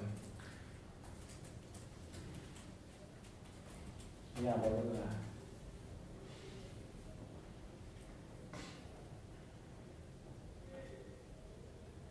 I can't say that now. What, what, what, what he sees as the innovation that Alexandria brought into philosophy. I'll look it up and I'll get back to it next time. Um, but, um, but but he doesn't he doesn't he doesn't want to associate himself with the tradition of Neoplatonism, although he, he definitely wants to associate himself with the tradition of Platonism. And he sees himself as a he says uh, in the beginning of Process and Reality, if if you were to want if you wanted to write a philosophy that stays as close as possible to, to Plato's, but took into account everything we have learned since then, then it would be this. Because he makes a distinction between uh, nous and mythos. Nous and Yeah. mythos, because he thinks Plato on the side of mythos, because the ultimate reality is not expressed Yeah, yeah, yeah, in logic, yeah. uh, so it's, it's expressed by uh, mythology. He sees in Plato wrote from mythology, of course when it comes to uh, Plotinus, he inherits both tradition. Yeah, He inherits Aristotle as well as Plato. that's right. And they actually fault the my ancestors, the Arabs, because he they thought they found his book with I think they didn't find the cover page or something. They call it the Theologia of uh, of Aristotle, which is mean the theology of, of Aristotle. Yeah, yeah, yeah. And and Farabi came to read the book, and he was a great Aristotelian, but he knows about Plato as well. He said it's funny these two, because initially the, the Arabs thought Plato and Aristotle they don't agree. He said in this book they, they do agree. So he wrote a whole book about the agreement between the two Yeah, wise men, Yeah. you know, Plato and uh, Aristotle. And the mystery of that book stayed until 19th century, where somebody came to realize this book is actually by Plotinus and is not one of uh, uh, Plato or Aristotle. Yeah, yeah, yeah, yeah. And, and for so many centuries, everyone in the world, not only the Arabs, yeah. because they based their, their work on the Arabs. They thought this book is Aristotle, and nobody, uh, and, and they saw the contradiction, but they assumed well, maybe he was close to Plato, but they didn't know that Plotinus worked out the system. Yeah, that's very interesting. Yeah, so I'm saying that Plotinus brought in Aristotle, Yeah. and Aristotle shaped a bit the Platonism, but it's more on technical, uh, more abstraction, Yeah. which uh, uh, Whitehead is sensitive to. He wants to go back to the vague region where there is more to imagine to philosophy than. Absolutely, yeah. That's what he wants to do, yeah. Yeah. But you, and you get there also, interestingly, this incursion of, of Aristotle. Uh, Lewis Ford, who's uh, one of the main specialists on Whitehead, has shown that the remark in the beginning of the book, where he calls his ontological principle the general Aristotelian principle, so that what exists in actual entities and, and, and everything else this relation to those, it's kind of contrast with the, the, the earlier idea that, that which is just on the previous page that you have these eternal objects and occasions. Um, and that's a Platonic idea, and that's linked to this imaginative. He always talks about Plato in that sense. Plato is not valuable for the doctrines, but for the wealth of suggestion uh. But that Aristotle insertion, it's an insertion. You put it in later. so, uh, Ford was able to prove this in a very, very uh, uh, scholarly way. That that he later on put that word Aristotle in there to create this kind of going together of the two. That was an important point for him. Yeah. Because it's that great thing which link with many ideas in the, in the book on this Yeah. modes of thought. It links with language, links with uh, explanations that we, we actually can't explain everything. Uh, we've got limited, finite in, intellect, not an infinite intellect, intellect, and the universe is infinite compared to our intellect.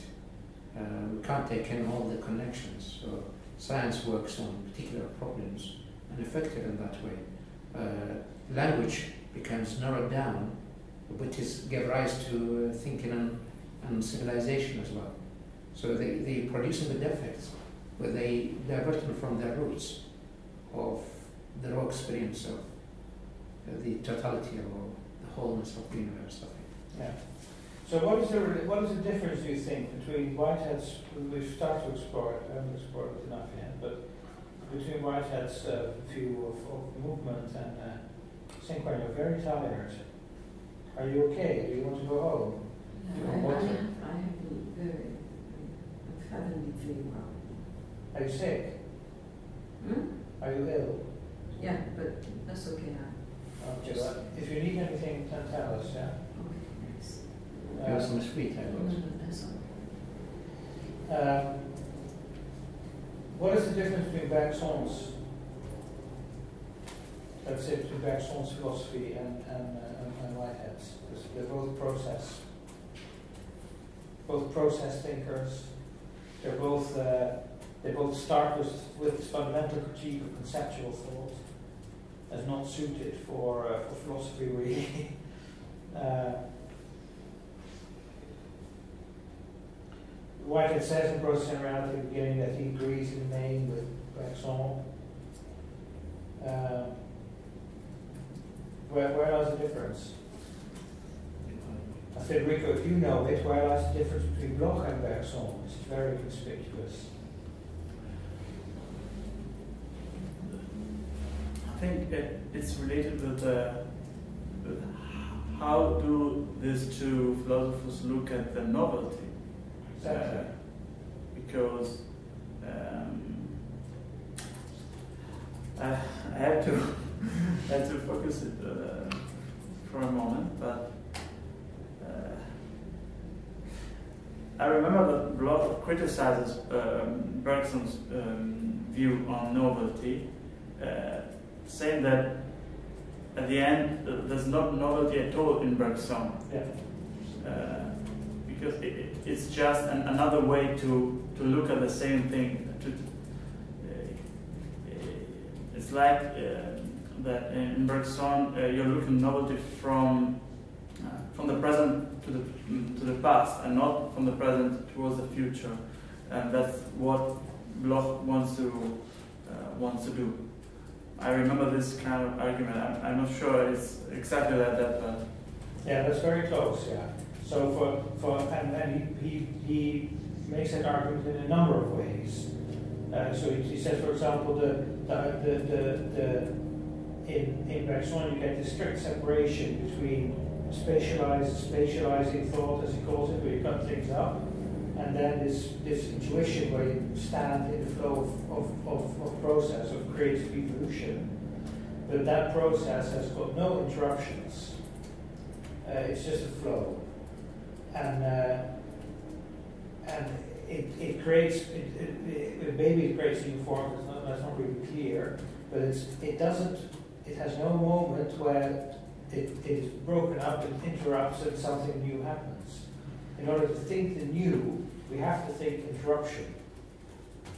Uh, we have to include interruption in our in our idea of, of, of novelty. And precisely because Bergson does not have interruption, instead he sees interruption as the as the same the same as abstraction. Uh, he cannot think the new. Bloch was always very quick with those he didn't like. He was was always very very quick in dismissing them. And he said Bergson is just a bourgeois thinker. Uh, he's he's he is uh, 19th century. Um, but that's the point. Is it has exactly to do with that. With, with so with, Bloch makes a clear case that that, that Bergson cannot think the the new. Yeah? Uh, and I think with Whitehead it is pretty much the same. So Whitehead also has a preconceptual process, but this is a process that is constantly interrupted. It's epochal. The, the, the, the theory, the, the, the, the nature of becoming is epochal. This becomes and then that becomes. It's not one becoming. And there is, of course, oneness. Like you said, there is a wholeness, just as with uh, David Bohm. But this wholeness exists only, it's actual only in its instances. It exists only as a factor in the self actualization of drops of experience or occasions who are at once the moment of novelty, because that, that, that particular experience was never there, and the actualization of the whole in, in that experience. The whole, the whole does not exist in itself prior to the, the experiences. Um, and so, and I think that is for both, uh, for, for, for Bloch in a very explicit critical sense, materialist sense, or Marxist sense, this kind of critique of uh, atavistic thinking, or thinking that, uh, that thinks in terms of anamnesis, Platonic uh, remembrance, we talked about it last time as well, and the kind of thinking that relates to the unknown and the, and the new, which always has an element of what cannot be reduced to what you already know. I think that's less, less clearly pronounced in Whitehead, but it is certainly there. Uh, and it's certainly what he was thinking about, yeah. That follows from this uh, an, an, interesting argument about um, this, the endpoint of process, or about um, this, this completion, this fulfillment that we talked about, that somehow seems to be, for both thinkers, latent in the process of realization, although it is not achieved, and then it has to be tried again. And Bloch makes this point in his discussion of Bergson, where he says uh, the new can only be thought of as the attempt to realize what he calls identity, to realize something that's always the same in a strange way. If it was not that, if if this this utopian dimension, which Bloch calls the unum necessarium, the, the one necessary, the summum bonum. Uh, it's, it's, it's, that wasn't always what was at the heart of each process of realization, as it is in Whitehead, with this presence of primordial and consequent nature of God in, in the, background of the process of realization, which is not a pre-given essence, it's very important, it's not a pre-given goal, but it is precisely an orientation on, a, on fin- finality, what Bloch calls the ultimum, the ultimate, without which novelty is not possible. Because if you don't have that, then novelty just becomes nextness. It just becomes something else. And then novelty degenerates into mere variety or into, uh, you know, whatever is next, the next moment, which becomes undistinguishable from, from the, the, the previous moment. Yeah. So every every every attempt at at every every self-realization, every novel, every new, has to be an attempt at an ultimate, an ultimate, that cannot be defined, cannot be put into words, but is therefore always the same, because it doesn't have a character. It's always that, that one point. So there is a, there is a relation between newness and repetition, the repeated attempt at the ultimate, but it is a completely different a completely different relation than that in, let's say, Bergsonian or classical understanding of the new as, the, as what comes next, which can be a repetition of an existing form that was already there.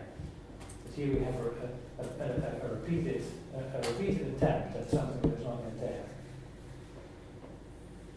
It's a very, very complex point. I don't extent it makes sense, but uh, he Bloch writes about this in, in, in, the first, the second part of Principle of Hope, where he says, so in the end, the, this, this identity that, that the utopian process aims at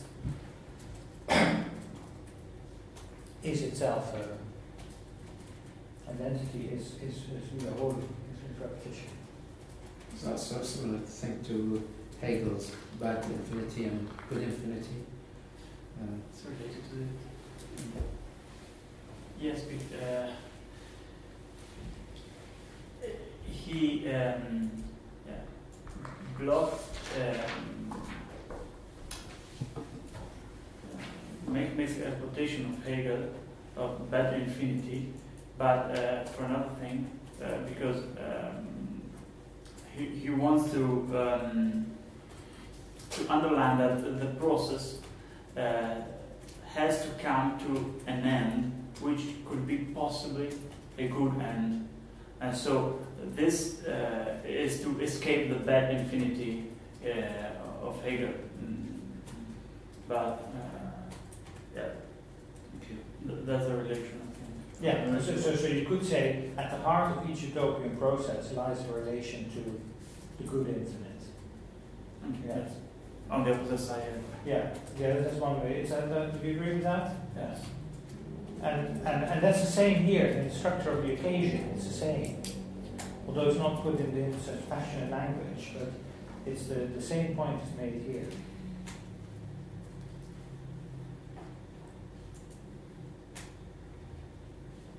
So may I ask you, on the other side, uh, what could be the, uh, the biggest difference between Bloch and Whitehead? That's a good question. Because I was- I've, I've been so concerned to, to draw out similarities that I haven't really thought about the differences. But um, there are many differences. Uh, so, well, uh, there is, for example, in, in, in Bloch, there is, a, there is a clear dialectical process. Uh, it's not that that's absent in Whitehead, but it's certainly less pronounced, and I don't think Eric even uses that word. Um, there is a dialectical relation between, between the occasions and between the occasion and the but, uh, but it's not as, as clear, it's not as clear, as pronounced as it is in, in, uh, in, uh, in um, Bloch. In, in Whitehead, there is also more of an idea that this will just go on forever. Uh, although there is a of, so there is a, there's a more traditional possibility for a place of a transcendent God to which we relate.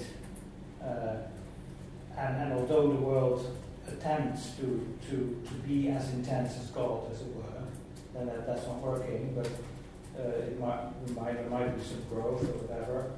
But he sees this, I think, essentially as something that is just uh, timeless, that it's not going towards a, towards a redemption or a redemptive moment. Whereas for Bloch, there's always that idea in the background, that there is a kind of uh, and side for by, as he calls it, that time's up. there is a, there is a sense of, uh, although we must not make that point too strong, because even at the end of, pro, of pro principle of hope, the perspective that's opened there is in principle so open-ended of, of the human being that makes the world into its, its home. Mm-hmm. Is, a, is in because of Heimat. Heimat, yeah. Heimat has a Weiter uh, Bloch says it's one of the poetic languages. He says all these all these utopian concepts are ultraviolet. They uh, they they lie beyond the spectrum, and and uh, and we don't. So that that also means we, we just don't know what what what that might be. Just as we, we don't know in the communist society, we don't know what, what people will be like. Uh, so there's there is a kind of it's not as not as strong as in Adorno, there's not a Bilderverbot, but but there is definitely a sense of we're dealing with things we don't know. Uh, unconstrueerbare vragen these sort of things. Uh, which is also very much present in, in, in Whitehead. And he says, of course, of, maybe the biggest difference is that one is English, the other is German. uh, uh, well, when did he say that? Philosophy starts in wonder, and when philosophy has done its work, the wonder remains. You see? Uh, when philosophy doesn't do its work, then the wonder disappears. Uh, um, that's uh, that's also that's very very Blochian. I think that uh, the con- contact with Bloch was the inconstructive question at the heart of the process of realization. Is that's the main function of philosophy is to keep us aware of that. So I bring my mystic with me. Uh, when Arabi says, "Praise to God," God increase me in, in perplexity. Yeah, exactly. Yeah. So instead of giving me guidance, increase me yeah, increase me perplexity. Yeah, yeah. And he, he he gives very metaphorical uh, analysis of Noah uh, story in the Quran and in the Bible and everywhere. And he he turns it around. He used exactly similar sort of arguments like Derrida. And he gives the opposite of what everyone takes. And he he thinks that Noah was has mistaken what the people were saying to him. Not that the people were mistaken what he was saying to them and he thinks that the flood is, is, is actually these people were swimming in this huge yeah, ocean, yeah, yeah. you know, uh, trying to find out where, where they were they going to go. Yeah, so yeah. It's, it's this total perplexity. Yeah, he yeah. thinks they are very good people. Yeah, that's very interesting. that's very interesting. Yeah. Um, so yeah, um, in that sense, I would say that the, the, utopian is less pronounced in, in Whitehead. It is there; it's not excluded from it, but it's not his main his main thinking. Yeah, he's uh, he's more of an Aristotelian, more of an Aristotelian in that respect. Well, which go on the way the way it does. We don't know what creative possibilities there are. That, that's why we have to be open. But there isn't this uh, this, this concern with an end of history. Mm-hmm. Uh, which I think is, is always there for Bloch. There's this horizon. This horizon. At, at the end of a historical process. Maybe, maybe it's empiricism Yeah. as well, being close to the English tradition or Brit- uh, Anglo-Saxon sort of tradition of empiricism Yeah. rather than idealism, although got Yeah, that that's side right. So of course there is a you kind of the other side to qualify it. yeah. So he, he's close to science in that way. Yeah. So Well, of course, Bloch in his own way is close to science too, because he is a materialist and he's a Marxist, and so in that sense, he, he he comes through that whole tradition where Hegel has been put on his feet, and Mhm. um, and he, he always refers to Engels' uh, dialectic nature, idea that in nature you get there are jumps from from there's emergence in nature. Quali- qualitatively new structural orders arise out of lower orders, which is basically for Engels' concept of nature. It's also there in Bloch and it's the same in that's he writes in his book. So uh, it's not that Bloch is anti-science, uh, or it's, there's no relation to science. I think we're far, far from it. Although again, it's, it's not as, as pronounced. So they're just moving different areas, but on the whole, I think we could have got, would have gotten along very well. Uh, and therefore, it's very interesting that White, uh, Bloch was, of course, in exile in, in America at Harvard in the 30s and 40s. From 38 to 48, he wrote uh, Principle of Hope in the University Library of Harvard, where Whitehead was uh, by then an emeritus. But they never met. ah, they didn't know each other. But Bloch knew of Whitehead's existence. He refers to Whitehead once in a very disparaging way uh, about the book. Whitehead wrote a book called Adventures of Ideas. yeah. And he, he took that to be a kind of uh, reified, uh, reified way of popularizing uh, philosophy, the phrase like that. Which is very strange because the notion of adventure is also for advenire, of, of an arrival, coming, coming toward, is, is for, for, for Bloch a central idea. uh, and Whitehead uses the word adventure in the same sense, not, not, not in the not in the sense of, of having an adventure or, uh, know, uh, what's that movie hero called? I think of what we use. Oh. What adventure? The one with the archaeologist, Yeah. Indiana Jones. Yes, Yeah. yes. Indiana Jones. So when White says adventure by years doesn't doesn't mean Indiana Jones adventures, but he means adventures in the sense of coming along, coming, arriving, and going somewhere, and being exposed to something that you haven't thought of before, that changes the idea. So it, it is definitely that sense of, of Advenire, which is also strong for, for in his, in his language, where the Advent, the period before Christmas, is, uh, becomes a kind of ontological cipher to understand this, this, this process of realization. So it's very, uh, very strange that, that, that they never, never uh, connected in that sense. Martin was very old, but he died in 47 and was active until right before he died. But were his books translated in English that time? I mean, does Bloch's works were not, no. Oh, yeah, so maybe Whitehead didn't know about him. No, that's right, but, but obviously Bloch never felt, uh, Bloch knew, you must have known about him, and it was, Mhm. were in the- in the same university, and there was never any, uh, never any contact. It's very strange. Yeah.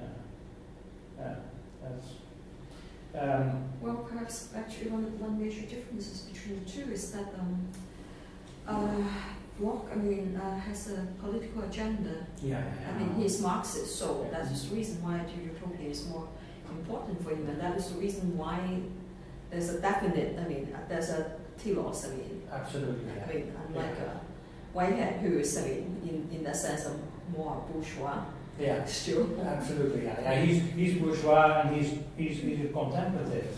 Uh, Mm. Russell says that they were always afraid that, that he would join a religious order. so that's very true. That's of course. Uh, there's one book that deals with the social and political implications of, of Whitehead's thought, which he never he didn't really write about it very much. He wrote a lot about education. He was uh, when, when he left Cambridge, and he's not entirely without his his rebellious side. He he resigned from his college in Cambridge when another colleague of his uh, was fired because he had eloped with uh, a woman to whom he was not married. I forgot who it was. But White was so outraged over the fact that, that, that the college didn't let this man decide how he wanted to live his life himself that he, uh, that he resigned. And he went to London and he, he became a professor at the Imperial College, which was then a new, a new institution. For a long time, in the, so in the early 1910s, 1920s, he played a huge role in building up the University of London. And he was at one point, even uh, for a year, I think he was Vice Chancellor of Imperial or of the whole University of London, I, I forgot. And in those years, he wrote a lot about education. So he wrote these essays we collected in the book The Aims of Education, where he presents a very, also a very uh, reformative view of education as it should be based on direct experience, on learning independence of mind, learning critical inquiry, uh, very much in the Deweyan, Deweyan tradition of education, seeing education also as a force for democracy. Uh, he, he was an advocate of opening up higher education to, to large groups of people, of people and making and also having a modern system where, where you can choose topics which was of course at Cambridge and, and also totally not, uh, not uh, in existence at the time. So he, he was very much concerned about societal development and, and, he, and he, he, because he was an educationist, educationalist, he, he did have views about that. He also spoke about the, the stultifying effects of uh, too much classical languages, although of course he was, he was very, uh, he was very much an educated person, of course. Um, so there is that side. But the, the, real social and political aspects are, are not developed in his thinking. And, uh, and he somewhere in a, in a, short autobiographical statement that he wrote very late in life, he calls himself a real English conservative. And but, but in the Whig tradition. So he was a Whig, which is, uh, if you don't know the, the, the Whigs, it's kind of the, the Lib Dems of the, the original Lib Dems. Yeah? Um, they were not conservative, they were not Tories, but they were, they did consider themselves to be conservatives. But he says, you know, the whole, the, the, the, the, the real question of conservatism in politics is not uh, keeping things as they are, but learning about what, what real innovation is.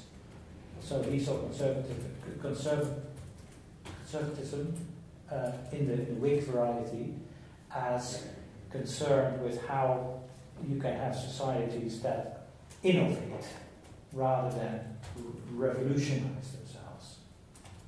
But he said that that process of innovation is absolutely central, and if it doesn't happen, he speaks about the crash of the dead society. So if a society, uh, society that is not part of this, of this movement of, of life and is not creative, then it, uh, it dies. Uh, it, cannot, it can no longer afford potentialities for satisfaction of intense experience. But for example, when he talks about the process, uh, does he mention the progress? So th- that's this idea of development inside uh, the process for Whitehead still remains because uh, there's also involved this idea, maybe, uh, uh, not maybe, for, for sure involved the interruption of the revolution is the, the main feature. Yeah. But uh, Bloch's don't, don't look at uh, just at the, this interruption, just at the, the moment of, of the revolution. He also sees this development in history, and so maybe uh, yeah, if, yeah, if, right, if, yeah. Whitehead, if Whitehead also uh, includes the, this kind of development, mm, I'd, I'd rather say that he, he could be cons- considered pol- politically maybe a, an innovator, a, a, pro- a progressist, I believe. Yeah, yeah, he's, a, exactly, he's an ameliorist. Or mm. we would say, so there is progress. He calls it, and that's of course 19th century language, he calls it civilization. Uh, yeah. uh, civilization means that, okay. That's what, so why Whitehead uses the term civilization, and, uh, and uh, that's a very good thing in, in Whitehead's book. and that, that's this, this it, it's not civilization in the sense of further coordination or, or unification of behavior, but in the sense of heightening uh, the awareness of the possibilities for sensibility, for aesthetic experience. That in, in, in all levels, and that, that is for him, that's what he calls civilization. And he, he does he, he, has kind of cosmological place for it because and this is the, and that's the same in Bloch I think in the discussion on entropy So they, they both they both accepted this idea of entropy, that the material universe was petering out over a long period of time. Um, and, and in a very beautiful text, The Function of Reason, uh, Whitehead was also a lectured, only 30 pages, so it's a beautiful text. Whitehead talks about these two opposed movements in the world. The spirit that goes upward and that creates complexity and intensity, and the material universe, the energy-based material universe that that uh, dissipates. Uh, and he sees these two things as somehow uh, they have this movement of the spirit in this in this entropic universe, but it sort of is a is a there's a tension between the two. And I think Bloch uses almost the same language. That and Bloch has a, has a has a kind of uh, eschatological perspective about it. So he thinks maybe maybe it will just be in time, you know, before everything really co- becomes cold and immovable, we will have jumped out of it um, in, in a kind of, yeah, what, what we can't imagine a, a, a, an order of the real to be yet, but that's how he thinks about it. Uh, but, they share this idea that uh, that that um, the movement of the spirit is is is, is in tension with with entropy in the world, and that was for them both important. Yeah. Recently, it has been shown by, uh, as far as I understand it, by a scientist who claims, who claims to have, uh, have proven that the evolution of life and of ever more complex forms of life actually fits in the entropic structure of the solar system. So it is the best way. We are the best way to, to dissipate How to dissipate, yes. Yeah. Order, yes. Or- We're, yes, we're very messy, in other words. Yes. Yes, but, but so, so you could say, well, why would life arise, arise at all if, if there was just entropy? But he, he now, he, and, and, and so, and that underlies the idea in Whitehead and in Bloch that there is another factor. But the, apparently this person has now, whether he is, not that I don't know, but he's made a good start in showing that the emergence of complex order in nature is actually not in, in conflict with with entropy, then you can understand uh, how, how that works. Yeah. Uh, but that doesn't really make much of a difference for the metaphysical scheme, because then you can just say that, that it's, uh, they're the same, they're included in each other. Sorry, I, I, missed uh, one point. You said they, the two share the idea that the movement of the spirit is is what? Is with the entropy in the world? Is, is, is in, in, in tension with the, with, with the an- entropic, Oh, oh, it's intention, right? Yeah. Okay. So- okay. there is a, te- there is a, a creative tension the two. Okay. Yeah. Of going in one direction only. Yeah. Um, No, okay. Actually, actually, you see, I mean, as a matter of fact, I mean, even Hannah Arendt has some has an idea quite close to that. When she says that, I mean, had it not been natality, which is a disruption, Yeah. had it not been natality, uh, which periodically disrupts, um, I mean, comes into the world and disrupts uh, this kind of uh, almost like entropic tendency, I mean, the world would be, I mean, we, we would have been born for nothing but to die, and Yeah, so on and so yeah, forth. So, yeah. so I think, I mean, it's actually a very common idea during that period of time. Yeah, exactly. Yeah. I guess, I mean, people, I mean, who was that? Who wrote the book, uh, The Politics of Cultural Despair? It was actually all in the air during that period of time. because of course it was a new idea at that time. Well, but it was also, I mean, it was not just that it was a new idea, but it was also partly the political and social culture of that time. Yeah. Like with Oswald uh, Spengler's uh, yeah, uh, the, the, the decline of the West, I mean, there was tons of writings about, I mean, in the late 19th century to the early 20th century, people thought that the world is coming to an end. yeah, yeah, yeah, that kind of thing. So it's actually very popular That's right, and I think that, that, that has a lot to do with the fact that you find these ideas back in, in these Mhm. people, yeah. Yeah. Absolutely. So maybe, I mean, that's the reason why the two share, even without meeting each other, because it's actually a common They didn't have to, cultural yeah, milieu. did- they didn't have to meet, yeah. Yeah. yeah. Well, building on that, actually, coming back to the modes of thought, um, when I said earlier about science and its position on science, I had the feeling, I, I can't remember now the exact argument, But I had the feeling that he was worried about this point that that science will be closing down the possibilities of the world uh, because of you don't have this spirit that Mhm. or the context, the general context, Yeah, because there's no one narrowing it down to specialized fields. yeah. Uh, even the universities narrowing That's right. Yeah, yeah, yeah. that's right. And he- that's right. And he, he writes about that. The specialization in universities is a bad thing. Mhm.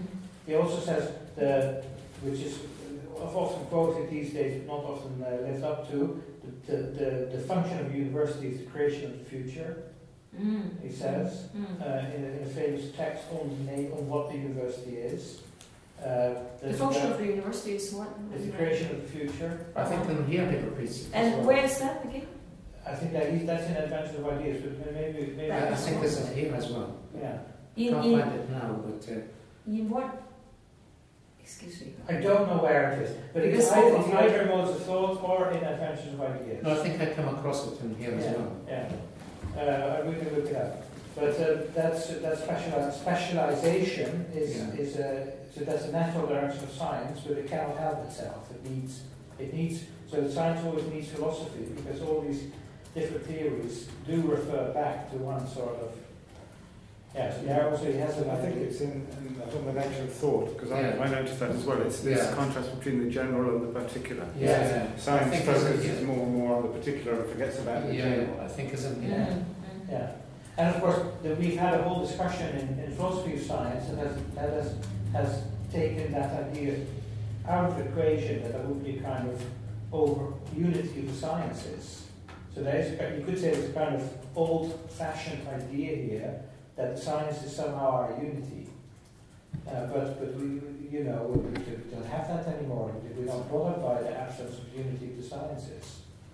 Um, so there's a question to think about. Uh, uh, Well, because actually, I mean, uh, the term scientist in English yeah. was actually not invented until the 19th century. And Yeah, before, before that, science was actually called natural philosophy. Yeah. So that was about the unity of the whole Yeah. universe. Yeah, exactly, that's right. And um, and also I mean, that that that meaning is still I mean that also is also in, in a way explains the differences between the German and the and the English word the Yeah. Wissenschaft and and the Yeah. and the Wissenschaft is much much more encompassing than the it's much more encompassing, exactly. yeah yeah and much Yeah. less positivistic Yeah, much less like fragmentary like science And they don't, I think they don't, both of them have maybe a bit of a problem with it. In, in, uh, there's an interesting text in Bloch in the Mhm. Philosophische Aufsätze zur objektiven Fantasie, philosophical essays, philosophical essays on objective fantasy. mhm. That's, that's part 10 of the collected works. This phrase objective fantasy, of course, that's the imagination. is, is that in Yeah, yeah. English as well? That's Bloch's book. Is it in English? It's not, not translated yet. Ah. It's- so what, we're what working it on about yeah uh, philosophische Aufsätze zur objektiven Fantasie. And there is a text in there, uh, was, was, was ist Philosophie als suchend und versucherisch? What is- is philosophy what- what- what- uh, als, ausdrücken, als suchend und versucherisch. und vers- Versucherisch. What is, is a play on words, so suchen, to seek. But, so what is philosophy as searching Mhm. and as versuchen is to try, as experiment. Oh. What is philosophy as, as, as, as seeking and as experimenting? And, uh, and there he talks about philosophy also in the sense of the, as allgemeine, referring to Hegel, the, Allgemeine, I mean, these are the- allgemeine the, Zeiten. the, the general. Mhm. Uh, the true is the, das Wahre ist das Ganze, the true is the whole. Yeah? That's Hegel. And but of course he realizes that he gets into a problem with science there, and he says, yeah, philosophy cannot be uh, a weekly overview of the sciences. You know, it cannot be cannot be the the the, the Newsweek of science. It has to be it has to be something else. And then he says, well, philosophy concerns the whole, and it concerns das Eigentliche, the, the, the, the real, the eigen- what is really real, and it and moet als bedenken is in eigener Konzentriertheit. It thinks about it in its own form of concentration. so it has its own perspective, but it, it is a perspective on the whole and on, on what is really real. And, uh, and, and, and that idea is, of course, also, I think, in how Whitehead sees the relation between philosophy and science. Also, not as the, sense that there is a super science, but in the sense that philosophy asks this question that none of the sciences ask what, what is the really real? What is the ontos on, the, the res vera? What is that which exists ultimately? Now, even of that, you can say, as many philosophers have done, even that question we don't need. Even that question is a kind of mythical, that is metaphysics in the, in the bad sense. Because even that question proposes a kind of unity that disappears the moment you start to look for it. It cannot be found, or that's not even our concern. Um, So who, who said that that is, sorry, who said that that is, said, uh, but even that question is metaphysical. Yeah, so that's, that, that, that is, that? well, that's, I'm saying that now, in the sense that, that I think that would be uh, how, how many recent, much of recent philosophy ha, has responded to this, this view of the relation between philosophy and science, or the nature of philosophical thinking. Um, that, uh, that we don't need it, and that it's not possible, and that it's not meaningful to talk about. I think in the with the thought he talks about the I think in the first chapter I think on the important uh, uh, importance and it is looking for the general Yeah. and the actual evidence. So science will look into the evidence, Yeah. but it's philosophy looks for the general the Yeah. in in the But, but that general is something else than Okay. collecting all the results of the sciences into a worldview. But that's not what it is. no. But, and, but, then, and then what is it? but your, your, your criticism sounds like post-structuralism. yeah, that's right. So But- but- th- but- that is the main critique of post-structuralism, but also... But however, however, I mean, even Heidegger, I mean, which, uh, which uh, post-structuralism derives a lot from.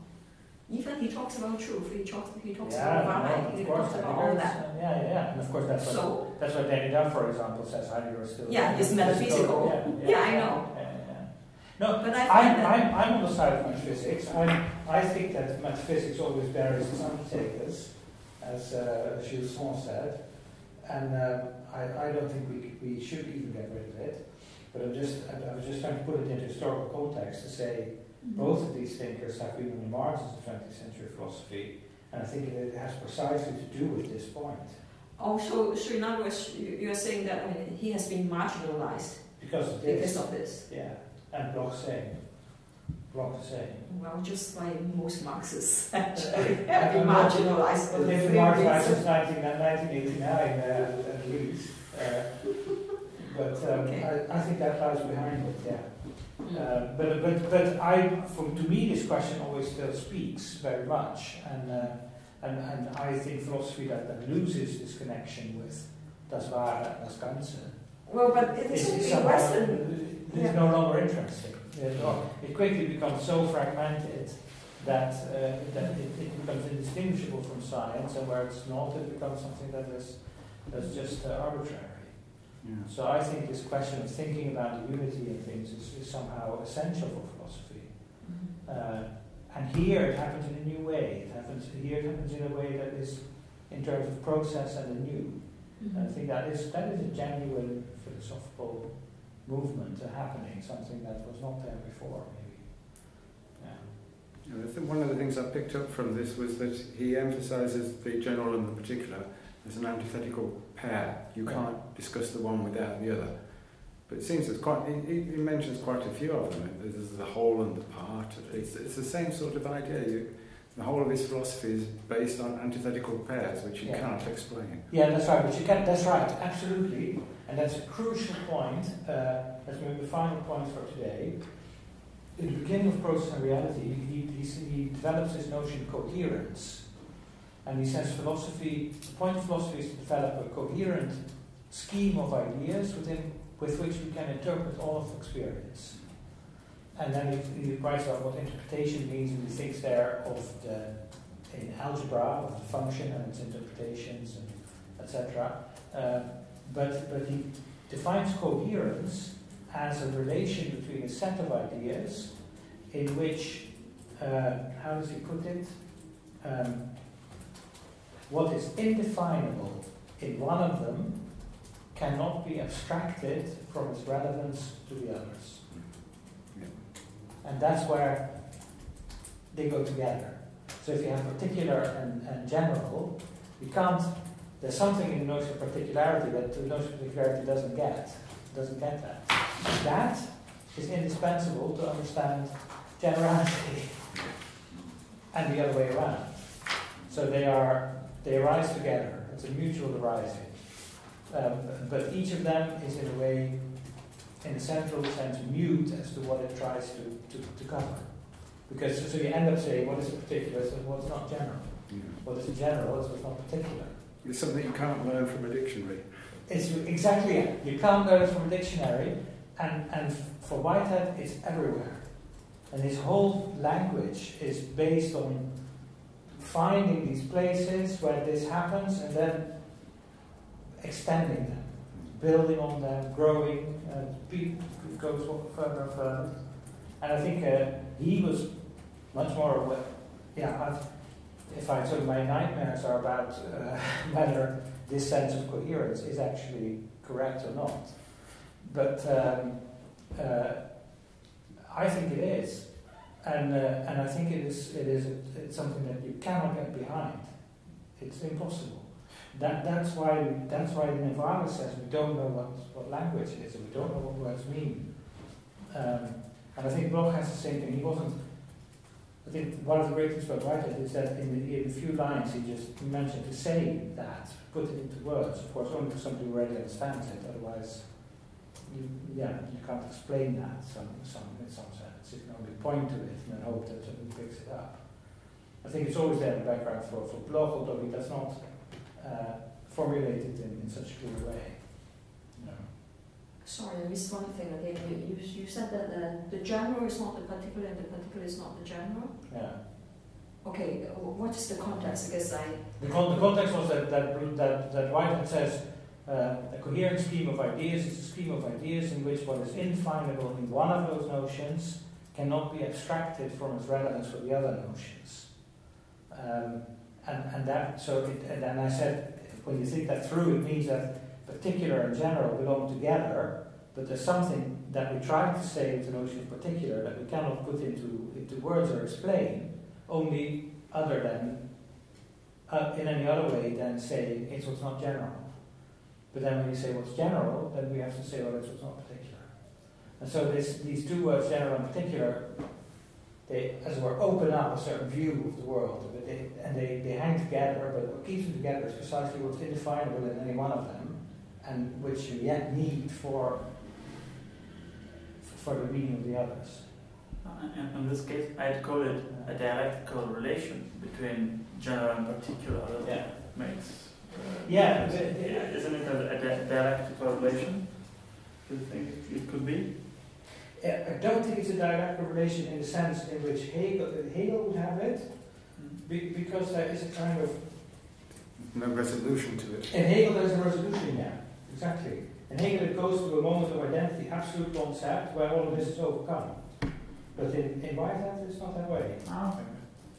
And it's, it's again, it, it, if you want to say what is the, the, the heart, the, the real base of coherence in, in Whitehead's technical sense, it is, of course, the relation between the actual entities. That that is an instance of, of that coherence, or that is the prime instance of, of that kind of coherence, is the prehensive relation between actual entities. Uh, that was, uh, it gave me great trouble when I, when I wrote my, my, my doctoral thesis on, on Whitehead. That it, it, in that sense, it is direct, but it, it starts to reflect on itself because it also applies to the book. And it also applies to the relation of the book to the reader and to or to, to, the book that you're writing about and the book you're writing, and then the reader has to read that book. I'm surprised you finished it. yes. Yeah, isn't that good? Well, Yeah. Borges got uh, Borges thinks about whether there is only one book in the world. Yeah, yeah, yeah, yeah, yeah, yeah. Well, The writer is part of that book. Yeah. He's writing. Yeah. Yeah.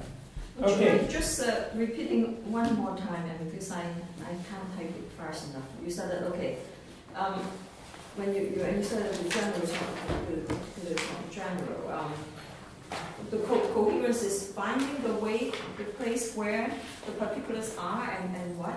No, no, I, I said, I said the, the, the, the basic, the, the, the prime, the prime instance of coherence, the coherence that, that Whitehead starts the book with saying that's a relation between philosophical ideas, is also, the, is a, a mirror image of the relation between actual entities.